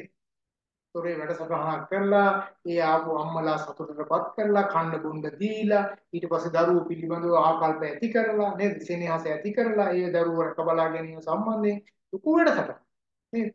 ආගමික වශයෙන් ඒ ආම්දුරු ගෙනල්ලා ඒ ධර්ම දේශනා පවත්වලා දැන් මේවා කරපුවාම ඒ අයගේ සිත් වෙනස් වෙනවා සිතුවිලි වෙනස් වෙනවා නේ ඒතකොට මම මේ කියන්නේ අම්මා ආයතනයේ ඒ ඒ ඒ සේවකයෝ එහෙම හිටියේ නැත්තම් ඔයරට සමන්න වෙන්නේ නැහැ නේ ආණ්ඩුවේ සල්ලි හම්බෙන්න කමන්නේ අපි මේ කැන්සල් කරලා දාන්න. ඉවරයි. ඒ නිසා අපි යන්න ඕනේ යන්න ඒ වගේ. අපි අපිට පුළුවන් හැම වෙලාවෙම අනිකා වෙනුවෙන් මොනවා හරි කරන්න ධනාත්මක සිතුවිලිත් එක්ක අපිට යන්න පුළුවන් නම් සංවිධානයට අපිට ලොකු දෙයක් කරන්න පුළුවන්. කැපිල්ලේ කැපිල්ල කියන එක දන්නවනේ නේද? මම හොඳ දෙයක් කරන්න කිව්වොත් එහෙම ඕකට එනෙහිලිකම් කරන පිරිස වැඩි. එහෙනම් මොන මොනවා හරි කියනවා. අනිවාර්යයෙන්ම කියනවා. හැබැයි කලබල වෙන්න හොඳ නෑ. අපිට පුළුවන් උත්සාහය උපරිමයෙන්ම වැඩ කරන්න ඕනේ. ඕක හැම ෆීල්ඩ් එකකම තියෙනවා. රාජ්‍ය සේවයට ගියාට පස්සෙත් එහෙමයි. පෞද්ගලික අංශෙත් ඕක කොහොමම. ඒතකොට සංවිධානයක් ඇතුලේ සේවකයන්ගේ චර්යාව වෙනස් වුණොත් ඒ සංවිධානය අපේක්ෂා කරන තැනට එන්න පුළුවන්. ඒතකොට දැන් හිතන්නකෝ මේ වෙනකොට සංවිධාන හිතා ගන්න බැරි තරම් කෙටි කාලීනව ගොඩනගාගත්ත සමහර සංවිධාන හිතා ගන්න බැරි තරම් මුළුල්ව ඉස්සරහට ඇවිල්ලා බිහිවලා තියෙනවා. ඒතකොට ලෝකේ අර දියුණු වෙච්ච පුද්ගලයෝ පිළිබඳ පොඩ්ඩක් හොයලා බලන්න. ඒ අය එතන ඇවිල්ලා තියෙන විදිය නේද? ඒතර ඒ අය එතන එන්න බලපාපු කාරණා. ඒතර මෙන්න මේ කාරණා සියල්ලක් එක්කම අපි වෙනස් වෙන්න ඕන. අපි වෙනස් වෙනකොට මමත් දකින්න දෙයක් තමයි තියෙන්නේ. යම් කිසි කාර්යයක් දුන්නාම ඔයාලා මේ HRM ඉගෙන ගන්නවා විතරක් නෙවෙයි මම ඔයාලට ස්ට්‍රැටජි වෙනම කතා කරලා තිනවා ස්ට්‍රැටජිත් එක්ක වැඩ කරන්න. ඒ කාර්ය කරන වැඩේට නෙවෙයි. වැඩිපුරම අපි කාලය ගන්න ඕනේ ඒක සැලසුම් කරන. අපි වැඩිපුරම කාලය ගන්න ඕනේ ඒක සැලසුම් කරන වැඩේට. නේද? ඒතකොට සැලසුම් කරන වැඩේ තමයි හරියටම කරන්නේ. ඒක ඔය කතාවක් කියන්නේ. මට ගහක් කපන්න පොරවක් දුන්නා නම් පැය 24කින් ගහ කපන්න කියලා කිව්වොත් මම ඇත්තටම පැය 22ක් විතර ගන්න ගහ වටේ සුද්ධ කරන්න පොරොමුහත් කියන්නයි තමයි ගන්න. ගහ වටේ සුද්ධ කරලා පොරොමුහත් කරන එක තමයි පැය 22ක් තුර කරන්නේ. මොකද මොට්ට පොරොවකින් ගහක් කපන්න පුළුවන් නම් පැය 23ක්ම පොරොමුහත් කරලා පැයක් විනාඩි 25ක් ඇතුළත ගහ බිම දාන එක තමයි කරන්නේ. ඉතින් කාට හරි ගහන්න ඕන නම් යම් ආයතනයකට ගහන්න ඕනේ නම් මොට්ට ආයුධ වලින් ගහන්න හොඳ නැහැ. එහෙනම් ශක්තිමත් කරගන්න. ආයුධ ටික කියලා කියන්නේ සංවිධානය ඇතුළේ ඉන්න සේවකයෝ. දැන් මගේ ආයතනේ හිතන්නකෝ මම කැන්ඩෝස් එක බාරගත්තා නම් මම කැන්ඩෝස් එක බාරගෙන මම එන්නයකට ගහන්න ඕනේ නම් මගේ සේවකයෝ ටික තමයි ශක්තිමත් කරගන්නේ. එහෙම නැතුව මට ගහන්න බෑ.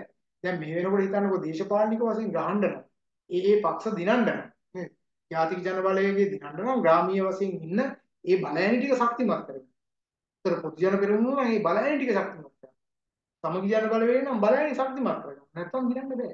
නේ? ඒතර ඒ වැඩේ තමයි කරන්න ඕනේ. අවසාන මොහොත වෙනකම් ශක්තිමත් වෙන්න. ඒ හින්දා අර මිනිස්සු හිතන විදිය ආත්පසින්ම වෙනස්. සංවිධානයක එක මිටර ඉන්න සේවකයෝ ටිකක් හිතේ කොහොමද කියන්නේ? එක ගැම්මෙන් එක හයියෙන් අපි යන් කියලා යනකොට කොහොමද නේ? මේ දවස්වල අපේ විශ්වවිද්‍යාලවල දරුවෝ ටික පාට බගින්නේ යන් කියලා එක ගැම්මේ. බලන්න විශ්වවිද්‍යාලවල ඇතුළටත් ඇවිල්ලා නීතිය රකින්න මිනිස්සු ඇවිල්ලා ගහන තැනටපත් වෙලා තියෙනවා අපේ රටේ නේද? උඩට එල ගහනවා නේද?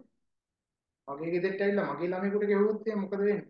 මම නම් එතන හිටියේ මේ දක්වා පරක්කු වෙන්නෙත් නැහැ මම. හරි මම නම් මේ මේ මේ වෙනකමුත් පරක්කු වෙන්නේ නැහැ නමුත් ක්‍රියාමාර්ග ගයි. මම හිටියනම් මම මෙච්චර වෙලා පරක්කු වෙන්නේ නැහැ. හරි. ඊට වඩා ක්‍රියාත්මක වෙනවා. ඒ නිසා අපි ලෑස්ති වෙන්න. ලෑස්තින පොදු අරමුණක් වෙනුවෙන් ක්‍රියාත්මක වෙනකොට එක ගැම්මට වතුර ගෙවුවට කඳුළු ගෑස් ගෙවුවට ආයෙ එන්නේ ගහන්න ගහන්න ගහන්න ගහන්න. ඉතින් මම ළමයිටත් කියන්නේ අපි අර ස්ට්‍රැටජිත් මාරු කරගන්න ඉස්සරහදී මාරු කරගෙන යන්න පුළුවන් නේ. අර මේවා දාලා නේද? ඒකට දාලා ඔක්කොම කරලා අපි ක්ලාස් පිට ගියා නම් මොකද? ඇත්තට අපිට ගහන්න ඕනේ හමුදාවට පොලිසිය නෙමෙයි නේ. ගහන්න ඕනේ මිනිස්සු නෑ ඒක. එහෙනම් වෙන මිනිස්සුත් එක්ක තමයි නිකන් බොරුවට හැමදාම මෙහෙම හැප්පෙන්නේ. හැප්පෙන්න ඕනේ මිනිස්සුත් එක්ක නෙමෙයි හැප්පෙන්නේ. ප්‍රතිපත්තිත් එක්ක අපි හැප්පෙන්නේ. නැත්නම් මිනිසුත් එක්ක ගහමරා ගන්න එක නෙවෙයි අපි කරන්න ඕනේ. හැබැයි ප්‍රතිපත්ති මේ කාරණා ටික එළිදැක්වීම අපි හරියට කරන්න උත්තර සංවිධාන චර්යාවක් ඇතුළේ මෙන්න මේ සියලුම කවු කාරණා පිළිබඳ පැහැදිලි අවබෝධයක් අපි ලබා ගන්නවා. හරි. ඒවා ඉලියා ගන්න මෙන්න මෙහෙම සංවිධාන චර්යාව යම් සංවිධාන චර්යාව යම්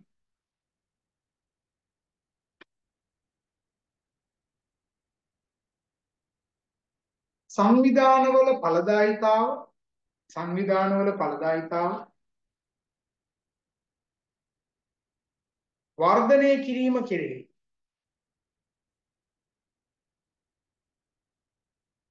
වර්ධනය කිරීම කෙරෙහි අවශ්‍ය වන්නා වූ අවශ්‍ය වන්නා වූ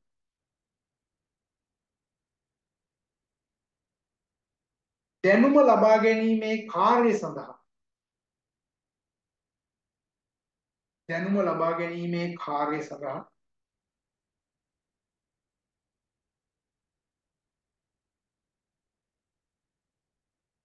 සංවිධානය තුළ දක්නට ලැබෙන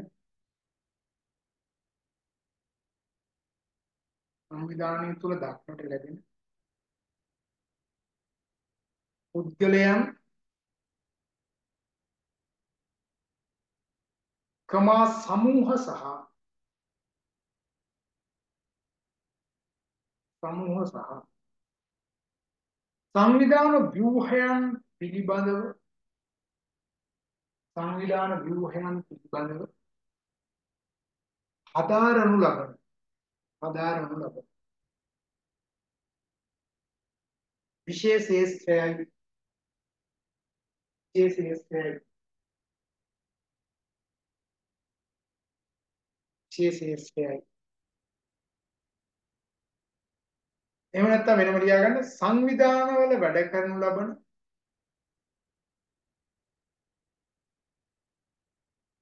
සංවිධානවල වැඩ කරනු ලබන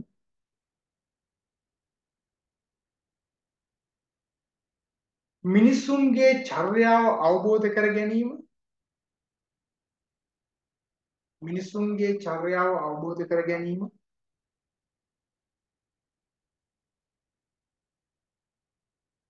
තමා භාවි කතනය සහ පාලනය. භාවි කතනය සහ පාලනය. ලෙසද භාවි කතනය සහ පාලනය ලෙසද? සංවිධාන චර්යාව නිර්වචනය කළ හැකිය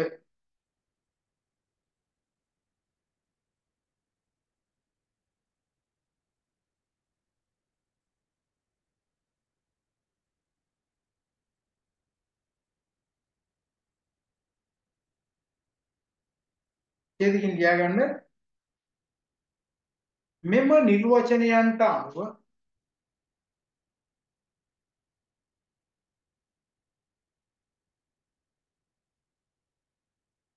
සංවිධාන චර්යාව අධ්‍යයන ශාස්ත්‍රයේහි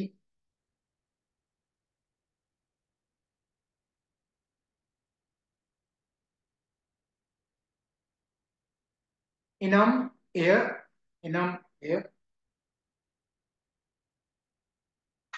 පොදු දැනුම් සම්භාරය පොදු දැනුම් සම්භාරය පොදු දැනුම් සම්භාරය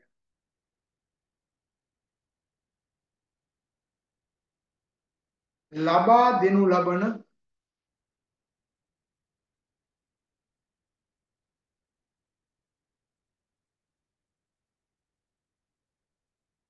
යම් විශේෂ යම් විශේෂිත යම් විශේෂිත විශේෂ ශේත්‍රයක් බවයි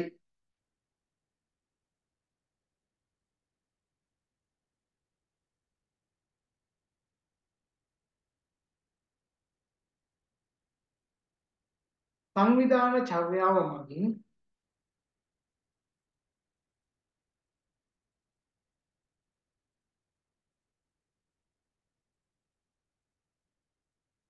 පුද්ගලයන් පුද්ගලයන්. තමා සමූහ තමා සමූහ. සහ සංවිධාන ව්‍යුහයන් පිළිබඳව. අවධානය යොමු කරනු ලබයි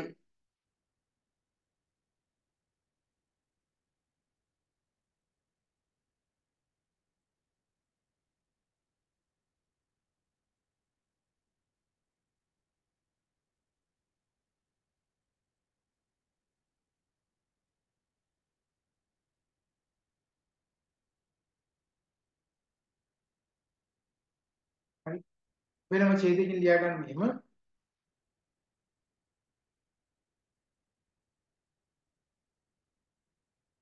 සංවිධාන චර්යාව පිළිබඳව සංවිධාන චර්යාව පිළිබඳව. ඉදිරිපත් වී ඇති නිර්වචනයන්ට අනුව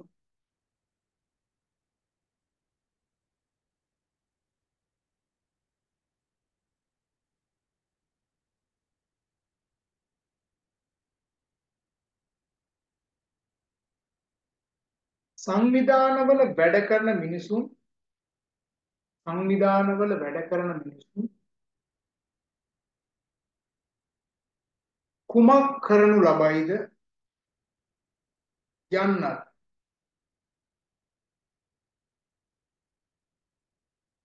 කුමක් කරනු ලබයිද? යන්නත්.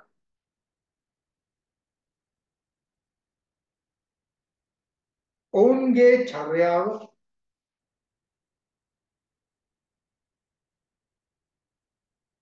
ඔවුන්ගේ චර්යාව සංවිධාන සාර්ථකත්වය සඳහා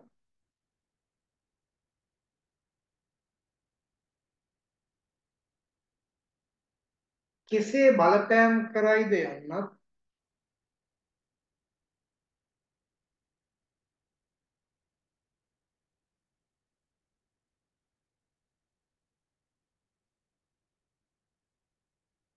එමෙන්ම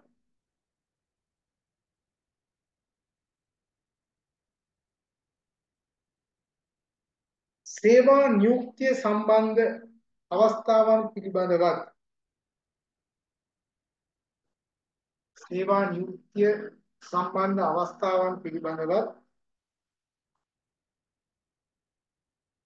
විශේෂ අවධානයක් යොමු කරයි.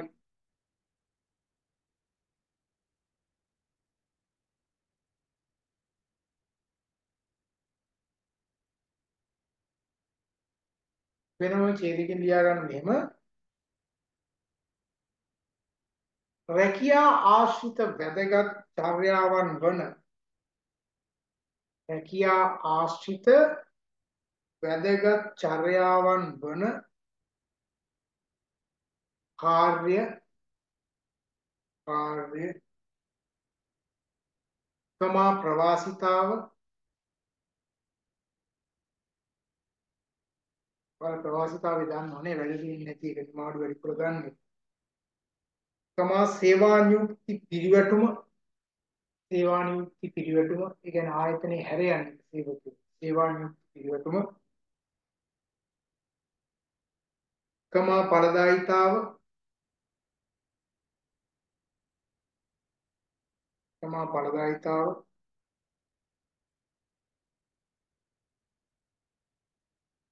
කමා මිනිස් කාර්යඵලය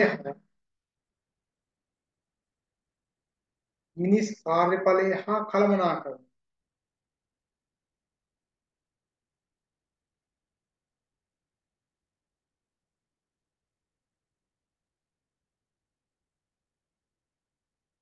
ආදී පිළිබඳව ආදිය පිළිබඳව පුළුල් සහ වැදගත් දැනුමක් ලබා දී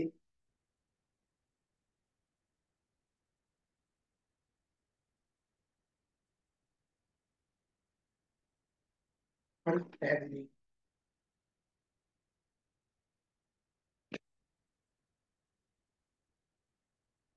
වෙනම ඡේදකින් ලියා ගන්න මෙහෙම. සංවිධාන චර්යාව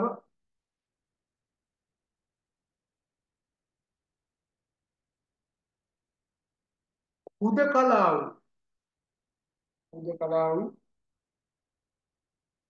විශේෂේෂයක් නොවන අතර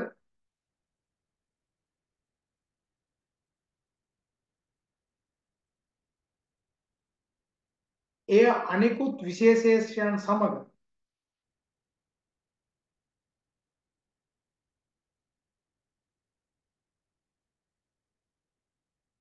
සම්බන්ධව ක්‍රියා කරයි.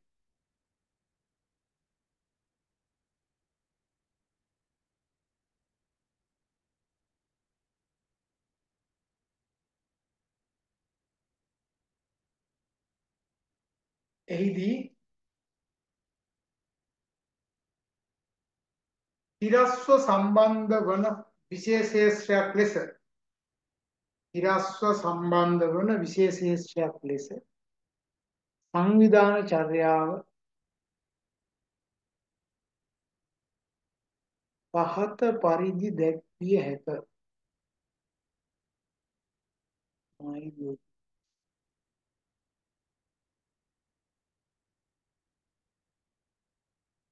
මෙන්න මේ chart එක දාගන්න මේ chart එක ඇතුලේ තියෙන ඒවා මම කියන්නම්.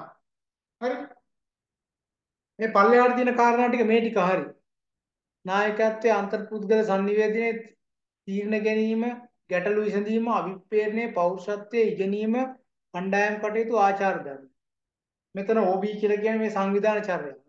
මෙතන උඩ තියෙන්නේ තිරස්මේ විශේෂ ශිල්පයන් කියලා. තිරස්මේ විෂයන් කියලා තියෙන්නේ. මෙතන තාක්ෂණික එහෙම නැත්නම් ශ්‍රිතමේ ශිල්පයන් කියලා මෙතන උඩින් තියෙනවා. මේ chart එක ගාගන්න 1යි 2යි 3යි 4යි 5යි 6යි 7යි 8යි. ඌල 8ක් ගන්න. මේකල මේ ටික ලියා ගන්න පල්ලෙහාට. මේකේ මෙතන මේ වචනේ මම දෙන්නම්. මෙතන වචනේ මොකක්ද ගත්තොත් මේ අනික් විෂයන් ටික මේ තියෙන්නේ. මෙතන ගිණුම්කරණය, අලවිකරණය, නිෂ්පාදන කළමනාකරණය, තොරතුරු තාක්ෂණය, මානව සම්පත් කළමනාකරණය, වෛද්‍ය විද්‍යාව, නීති ආර්ථික විද්‍යාව කියලා මේ දාලා තියෙනවා. හරි. මේක අර ෆොන්ට් එක මාරු වෙච්ච ඉඳ මේක වෙනස් වෙලා තියෙනවා. මේ chart එක දාගන්න. chart එක ගහගන්න ඊට පස්සේ මම අකුරු ටික කියන්න. වචන ටික කියන්න.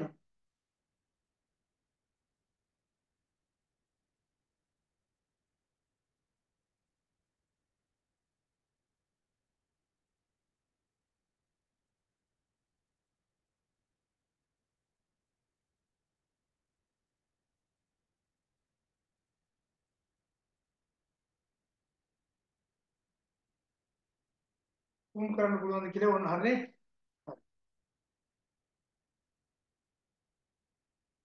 හරි ටික දාගන්නකෝ මම ඉතින් කියන්නම්.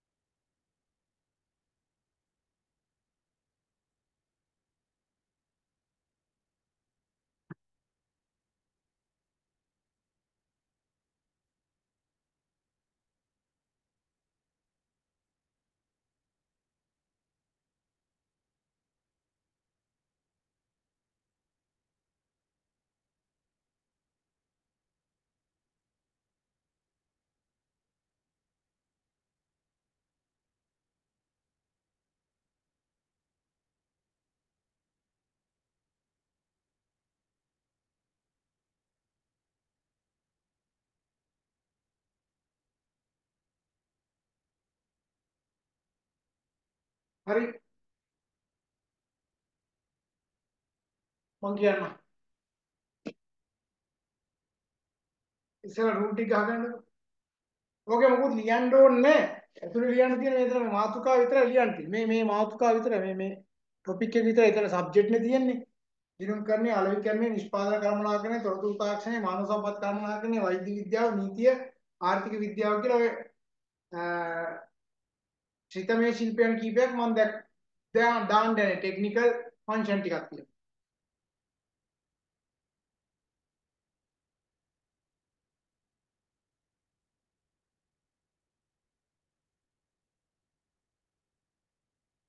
හරි. දැන් ගහගන්න ඇති කියලා මම විශ්වාස කරනවා. මෙන්න මේ උඩම කොටුවේ මොකද්ද තියෙන්නේ හොරිසොන්ටල් කියලා තියෙන්නේ මොකද්ද? තිරස්මය විෂයන් කියලා දාන්න. තිරස්මය විෂයන් ඉරක් ගහලා ශිල්පයන්. තිරස්මය විෂයන් ඉරක් ගහලා ශිල්පයන් ස්කිල්ස් තිරස්මය විෂයන් ඉරක් ගහලා ශිල්පයන්. හරිද? පළවෙනි කොටුවේ. තිරස්මය විෂයන් එහෙම නැත්නම් ශිල්පයන්. ඊට පස්සේ මෙන්න මේකේ දාගන්න මොකද්ද? තාක්ෂණික එහෙම නැත්නම් ශ්‍රිතමය ශිල්පයන්. තාක්ෂණික එහෙම නැත්නම් ශ්‍රිතමය ශිල්පයන්. තාක්ෂණික එහෙම නැත්නම් ශ්‍රිතමය ශිල්පයන්.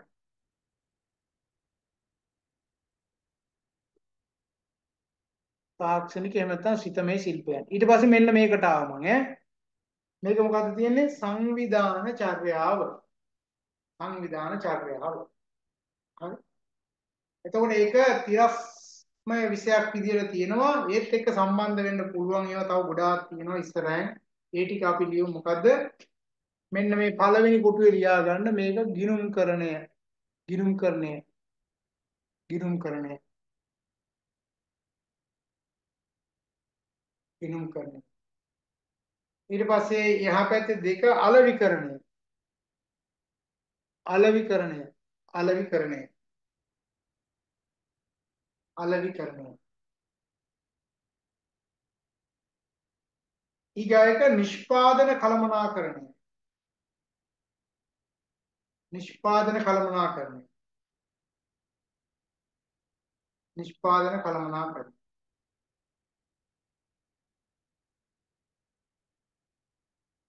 ඊගායක තොරතුරු තාක්ෂණය තොරතුරු තාක්ෂණය තොරතුරු තාක්ෂණය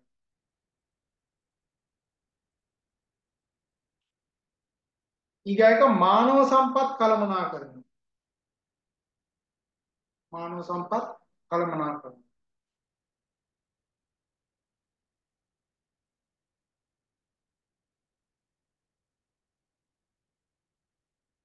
ඊගායක වෛද්‍ය විද්‍යාව වෛද්‍ය විද්‍යාව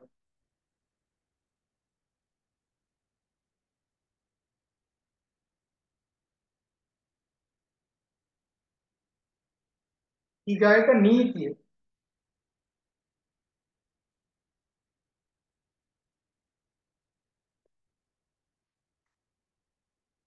ඊගායක ආර්ථික විද්‍යාව ආර්ථික විද්‍යාව දැන් ඔය තිරස්මය විෂයන් යටතේ අපිට මේවා ගන්න පුළුවන්. තව අපිට හඳුනා ගන්න පුළුවන් කාරණා ටිකක් අපි දාලා තියෙනවා. නායකත්වය ලීඩර්ෂිප් නායකත්වය.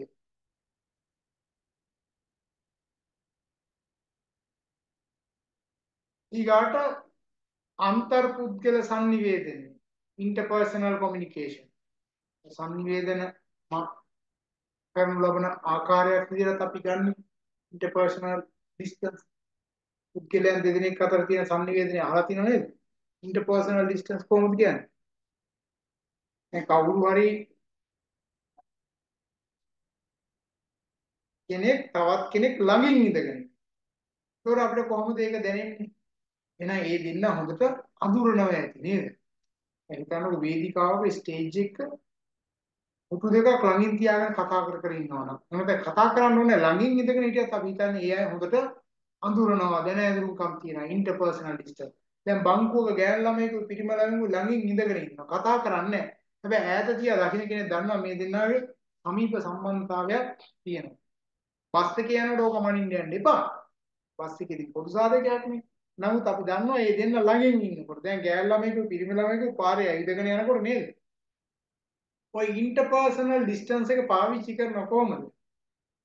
දැන් අපි හිතමු ගෑල් ළමයා ඈතින් ඉස්සරහට එනවා මාමා කෙනෙක් තමයි. එතකොට පිරිමි ළමයාට කියනවා අපේ මාමා අපේ මාමා කියපු ගමන් මොකද වෙන්නේ?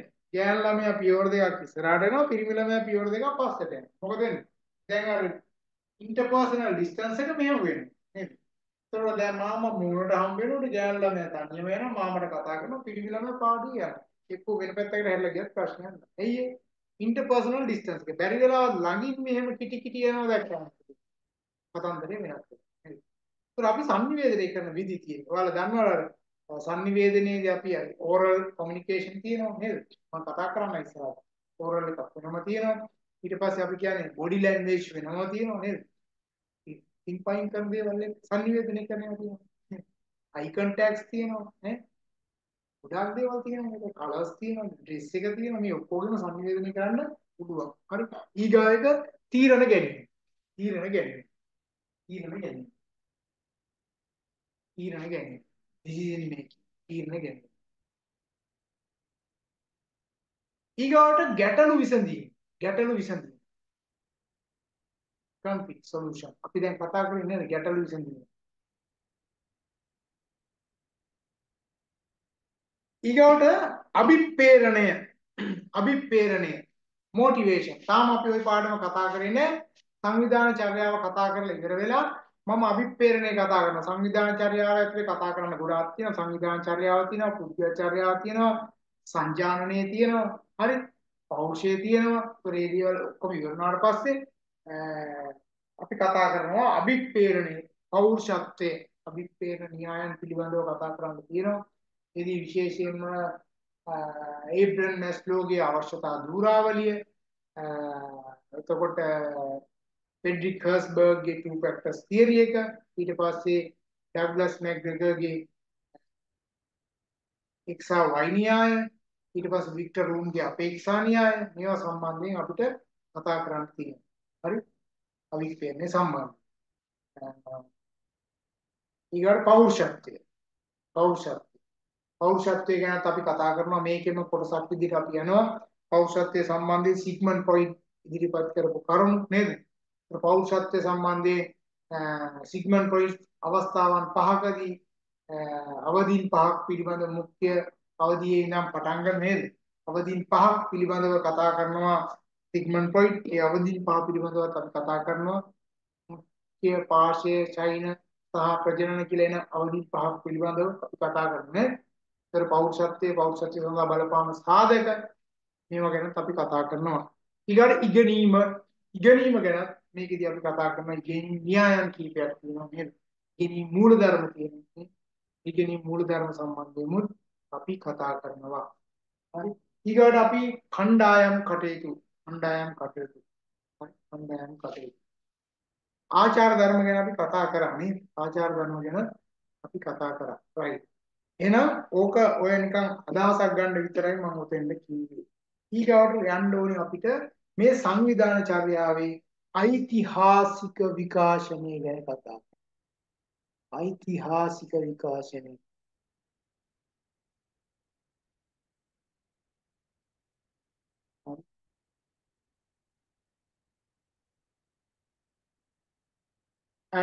දැන් සංවිධාන චර්යාවේ ඓතිහාසික විකාශනය ගැන කතා කරන්න එනකොට ওই ඓතිහාසික විකාශනයට අදාළ chart එක තමයි උතන ඔය තියෙන්නේ. මාතෘකාව ලියාගන්න සංවිධාන චර්යාවේ ඓතිහාසික විකාශනය කියන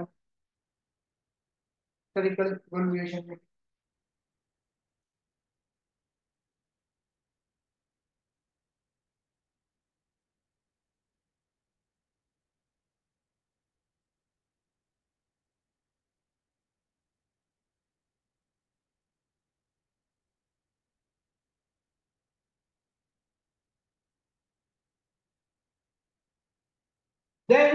දැන් සංවිධාන චර්යාවේ ඓතිහාසික විකාශනය දිහා බලනකොට මේක ප්‍රධාන වශයෙන් අවදීන් හතරක් ඔස්සේ තමයි යන්නේ.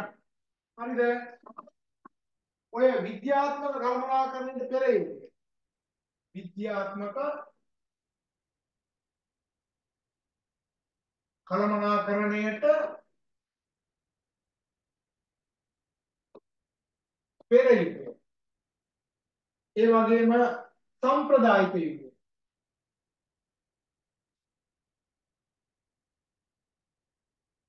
ඒ වගේම චර්යාත්මක යුගය.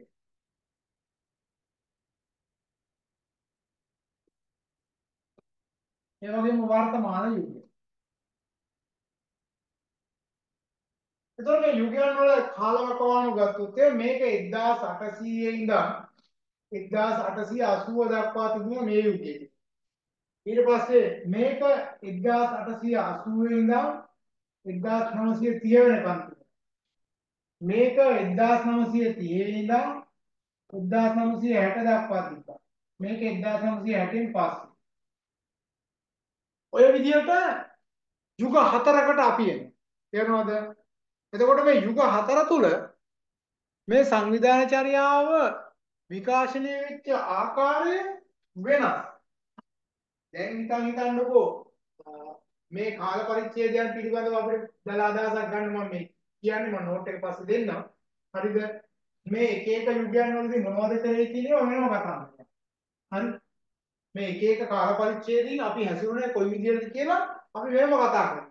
දැන් 1800 1880 කියන විද්‍යාත්මක කළමනාකරණයට පෙර යුගය. හරි?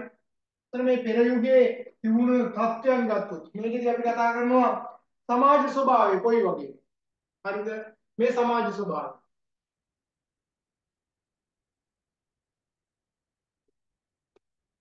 මේ කාලේ සමාජ ස්වභාවය කොයි වගේද මේ කාලේ කාර්ය සඳහා යොමු වූ ආකාරය. කාර්ය සඳහා කාර්ය සඳහා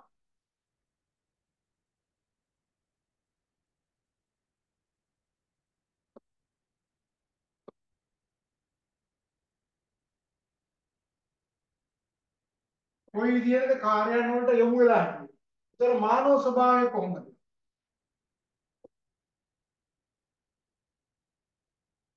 ඒ වගේම කල්පනාකරණයේ භූමිකාව කොයි වගේද ඒ කාර්යය?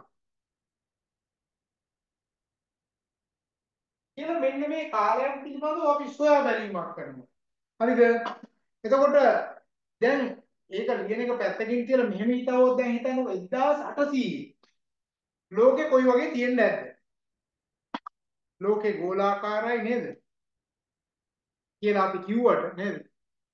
ඇත්තටම ගෝලාකාරද කියලා බලන්න ග්‍රහලෝකාගාරයටවත් යන්න වෙනවා නැත්නම් දැනගන්න හම්බ වෙන්නේ නැහැ. 800 කොහොම තියෙන්නේ? 800 වගේ අපේ රට ගැන හිතන්න අමාරුයි. මොකද අපේ රටේ මිනිස්සු 800 880 වගේ වෙනකොට නේද? සුද්දා මේ රට අල්ලගෙන සුද්දා තමයි මේක පාලනය කරේ. ඒක සුදු මිනිස්සු මේක පාලනය කරේ අපේ රටේ. අපි ගෝත්‍රික මට්ටමට ගිය මට්ටමට තියෙන්නේ නේද?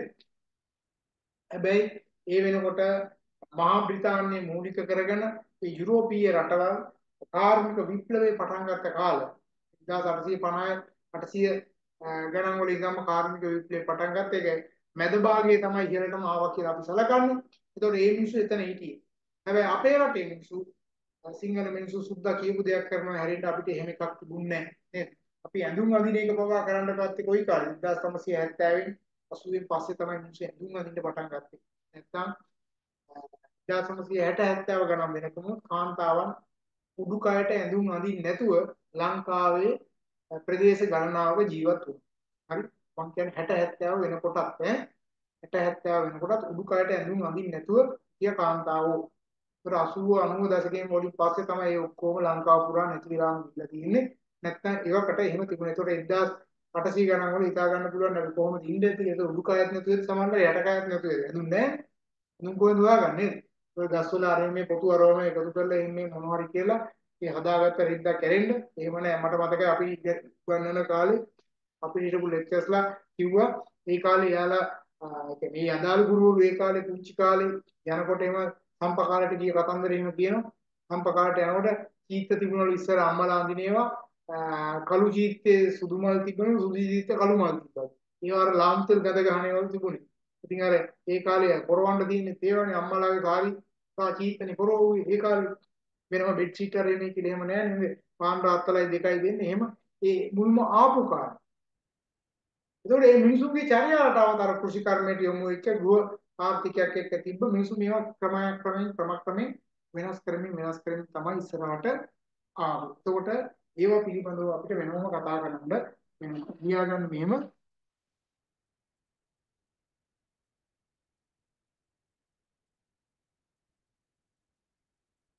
සංවිධාන චර්යාව. සංවිධාන චර්යාව. විශේෂ ශේත්‍රයේදී විශේෂ ශේත්‍රයේදී අවධානය යොමු කරනු ලබන අවධානය යොමු කරනු ලබන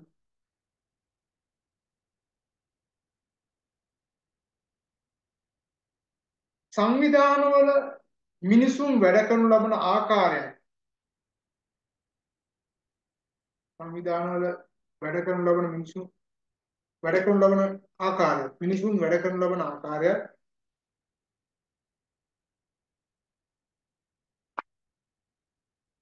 සංවිධාන චර්යාවේ විකාශනයේ සිදු වූ ආකාරය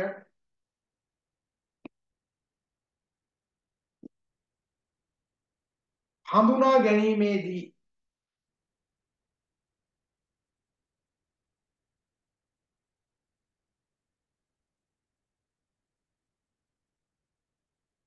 සංවිධාන චර්යාවේ ප්‍රධාන යුග හතරක් සංවිධාන චර්යාවේ ප්‍රධාන යුග හතරක් පහත පරිදි හඳුනාගත හැක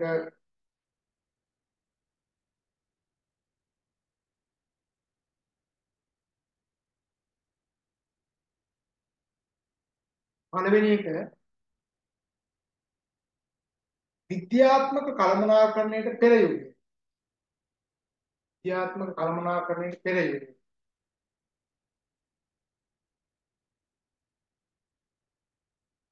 ඒක දාන්න 1800 1880 1800 1880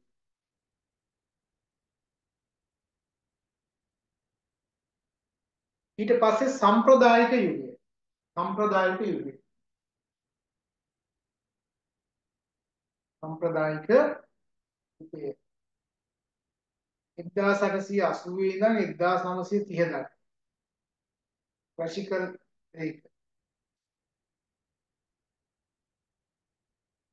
सांप्रदाय के युग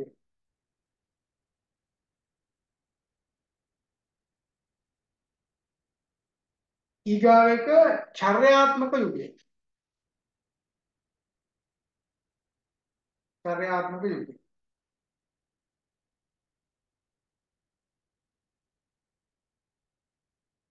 1930 ඉඳන් 1960 ගන්න. 1930 ඉඳන් 1960 ගන්න.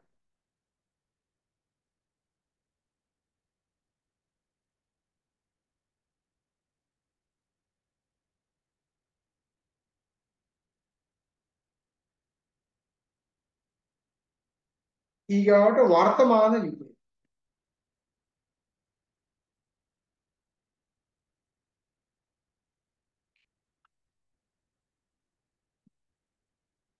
1960න් පස්සේ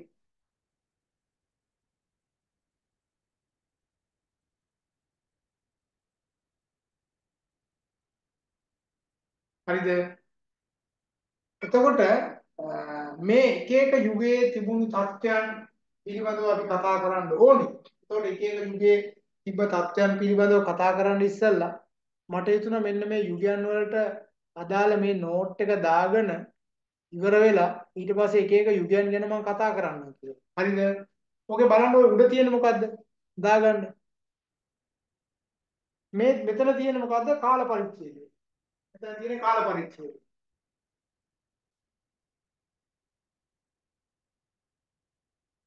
කාල පරිච්ඡේදය. ඒ කාල පරිච්ඡේදය තමයි උඩ තියෙන 800 880 880 930 930 960 960 කියලා තියෙනවා. හරි. මෙතන තියෙන කාල පරිච්ඡේදය. මෙතන කාල පරිච්ඡේදය මේ තියෙන්නේ. මෙතන කාල පරිච්ඡේදය මේ 800 880 880 930 930 100 960 960. ඊට පස්සේ මෙතන තියෙන කළමනාකරණය පිළිබඳ පොදු න්‍යායන් මොනවද තිබ්බේ? ඒ න්‍යායන් හතර තමයි මම ඔය දැන් කිව්වේ. කළමනාකරණය පිළිබඳ පොදු න්‍යායන් හතර. විද්‍යාත්මක කළමනාකරණයට පෙර යුගය, සම්ප්‍රදායික යුගය, චර්යාත්මක යුගය, වර්තමාන යුගය. හරි. ඊට පස්සේ මෙතන දාලා තියෙන්නේ සමාජ ස්වභාවය. විද්‍යාත්මක කළමනාකරණයට පෙර යුගයේ කෘෂි කර්මාන්තයේ කාර්මික කාර්මික පසු කාර්මික. කාර්ය සඳහා යොමු ආකාරයේ ගොවිපළ ගෘහය, කර්මාන්තශාලාව, කර්මාන්තශාලාව, කාර්යාලය, ගෘහය.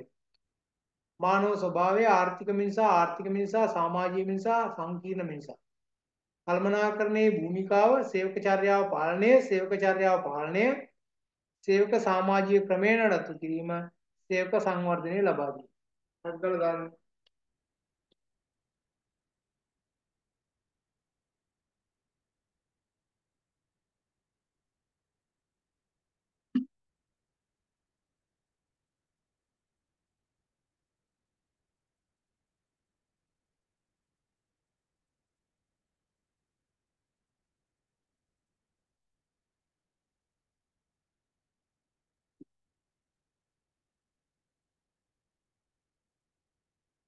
දාන්න. හත්ගල දාගන්න.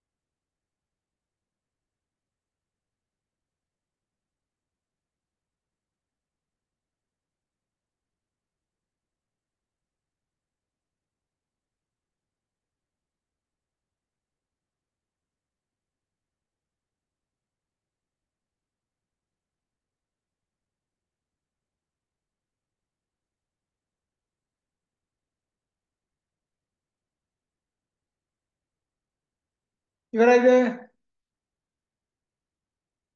මම ආපහු කළමනාකරණයේ පිළිබඳ පොදු න්‍යාය විද්‍යාත්මක කළමනාකරණයට පෙර යුගය සම්ප්‍රදායික යුගයේ චර්යාත්මක යුගය සහ වර්තමාන යුගය. ඊට පස්සේ සමාජ ස්වභාවය ගත්තට පස්සේ විද්‍යාත්මක කළමනාකරණයට පෙර යුගයේ කෘෂි කර්මාන්තය සම්ප්‍රදායික යුගය තුල කාර්මික චර්යාත්මක යුගය තුල කාර්මික වර්තමාන යුගය තුල පසු කාර්මික. කාර්ය සඳහා යොමු වූ ආකාරය ගත්තට පස්සේ ගොවිපළ ගෘහය කර්මාන්තශාලාව කර්මාන්තශාලාව සහ කාර්යාලය එහෙම නැත්නම් ගෘහය. මානව ස්වභාවයේ විද්‍යාත්මක කළමනාකරණයට පෙර යුගයේදී ආර්ථික මිනිසා චර්යාත් සම්ප්‍රදායික යුගය තුලත් ආර්ථික මිනිසා හැබැයි චර්යාත්මක යුගයේදී සමාජික මිනිසා බවට පත් වෙනවා. වර්තමානයේදී සංකීර්ණ මිනිසා බවට පත් වෙනවා. කළමනාකරණයේ භූමිකාව ගද්දී සේවක චර්යාව පාලනය කිරීම තමයි විද්‍යාත්මක කළමනාකරණයට පෙර යුගය. සම්ප්‍රදායික යුගය තුල සේවක චර්යාව පාලනය කරා. චර්යාත්මක යුගය තුල sorry සම්ප්‍රදායික යුගය තුල සේවක චර්යාව පාලනය කරා. චර්යාත්මක යුගය තුල සේවක සමාජීය ක්‍රමය නඩත්තු කරා. වර්තමාන යුගය තුල සේවක සංවර්ධනය ලබා දීම සිද්ධ කරනවා. හරිද? right. එහෙනම් ඔය chart එක දාගන්න ඉවරයි. ලබන සතියේ පන්තිය මම කිව්වා එක්ක බ්‍රහස්පතින්ද එහෙම නැත්නම් සෙන්සුරාදා පන්තිය දාන්න කියලා. මම මේ පණිවිඩය ඔයාලට කලින්ම දෙන්නම් හරි? රයිට් ඒතකොට ලබන සතියේ වෙද්දී අර වැඩිම ලකුණු ගත්ත කෙනා මම දෙන්න. අනපනත් පිළිබඳව සර්ගේ පොත දෙන්නකෝ. රයිට් ඒ පොත PDF එකක් මම ඉදිරියේදී ලබන සතියේ නෙවෙයි ඊට පස්සේ සතියේ දෙන්න. හරි? ලබන සතියේ වෙද්දී ඒකේ PDF එක ඔක්කොම ලස්සනට ඔක්කොම හදලා PDF එකක් ඔයාලට දාන්න පොත දාන්න බෑනේ පොත ගන්න බැරි නිසා PDF එකක් මම දාන්නම් ඒක කලින් ගන්න. හරි ප්‍රශ්නයක් නැහැ. වෙන මොනවද දැනගන්න තියෙනවද? IT එකේ රෙජිස්ට්‍රේෂන් යනවා. IT එකේ රෙජිස්ටර් වෙන්න පුළුවන්. කවුන්සලින් එකේ අපේ ඇප්ලිකේෂන් එකක් දාලා තියෙන්නේ. ඒකට ඔයාලට සම්බන්ධ වෙන්න පුළුවන්. හරි මම කියලා තියෙන්නේ. ඒකේ ඇප්ලිකේෂන් එකේ ඇතුළත් වීමේ ගාසු රුපියල් 1000ක් වුණාට ඔයාලට ඇතුළත් වීමේ ගාසු ගෙවන්න ඕනේ සම්බන්ධ වෙන අයට. රයිට් වෙන විශේෂයක් නැහැ. එහෙනම් අපි හම්බ වෙමු. ලබන සතියේ. හරි පරිස්සමෙන් ඉන්න සුබ සතියක්.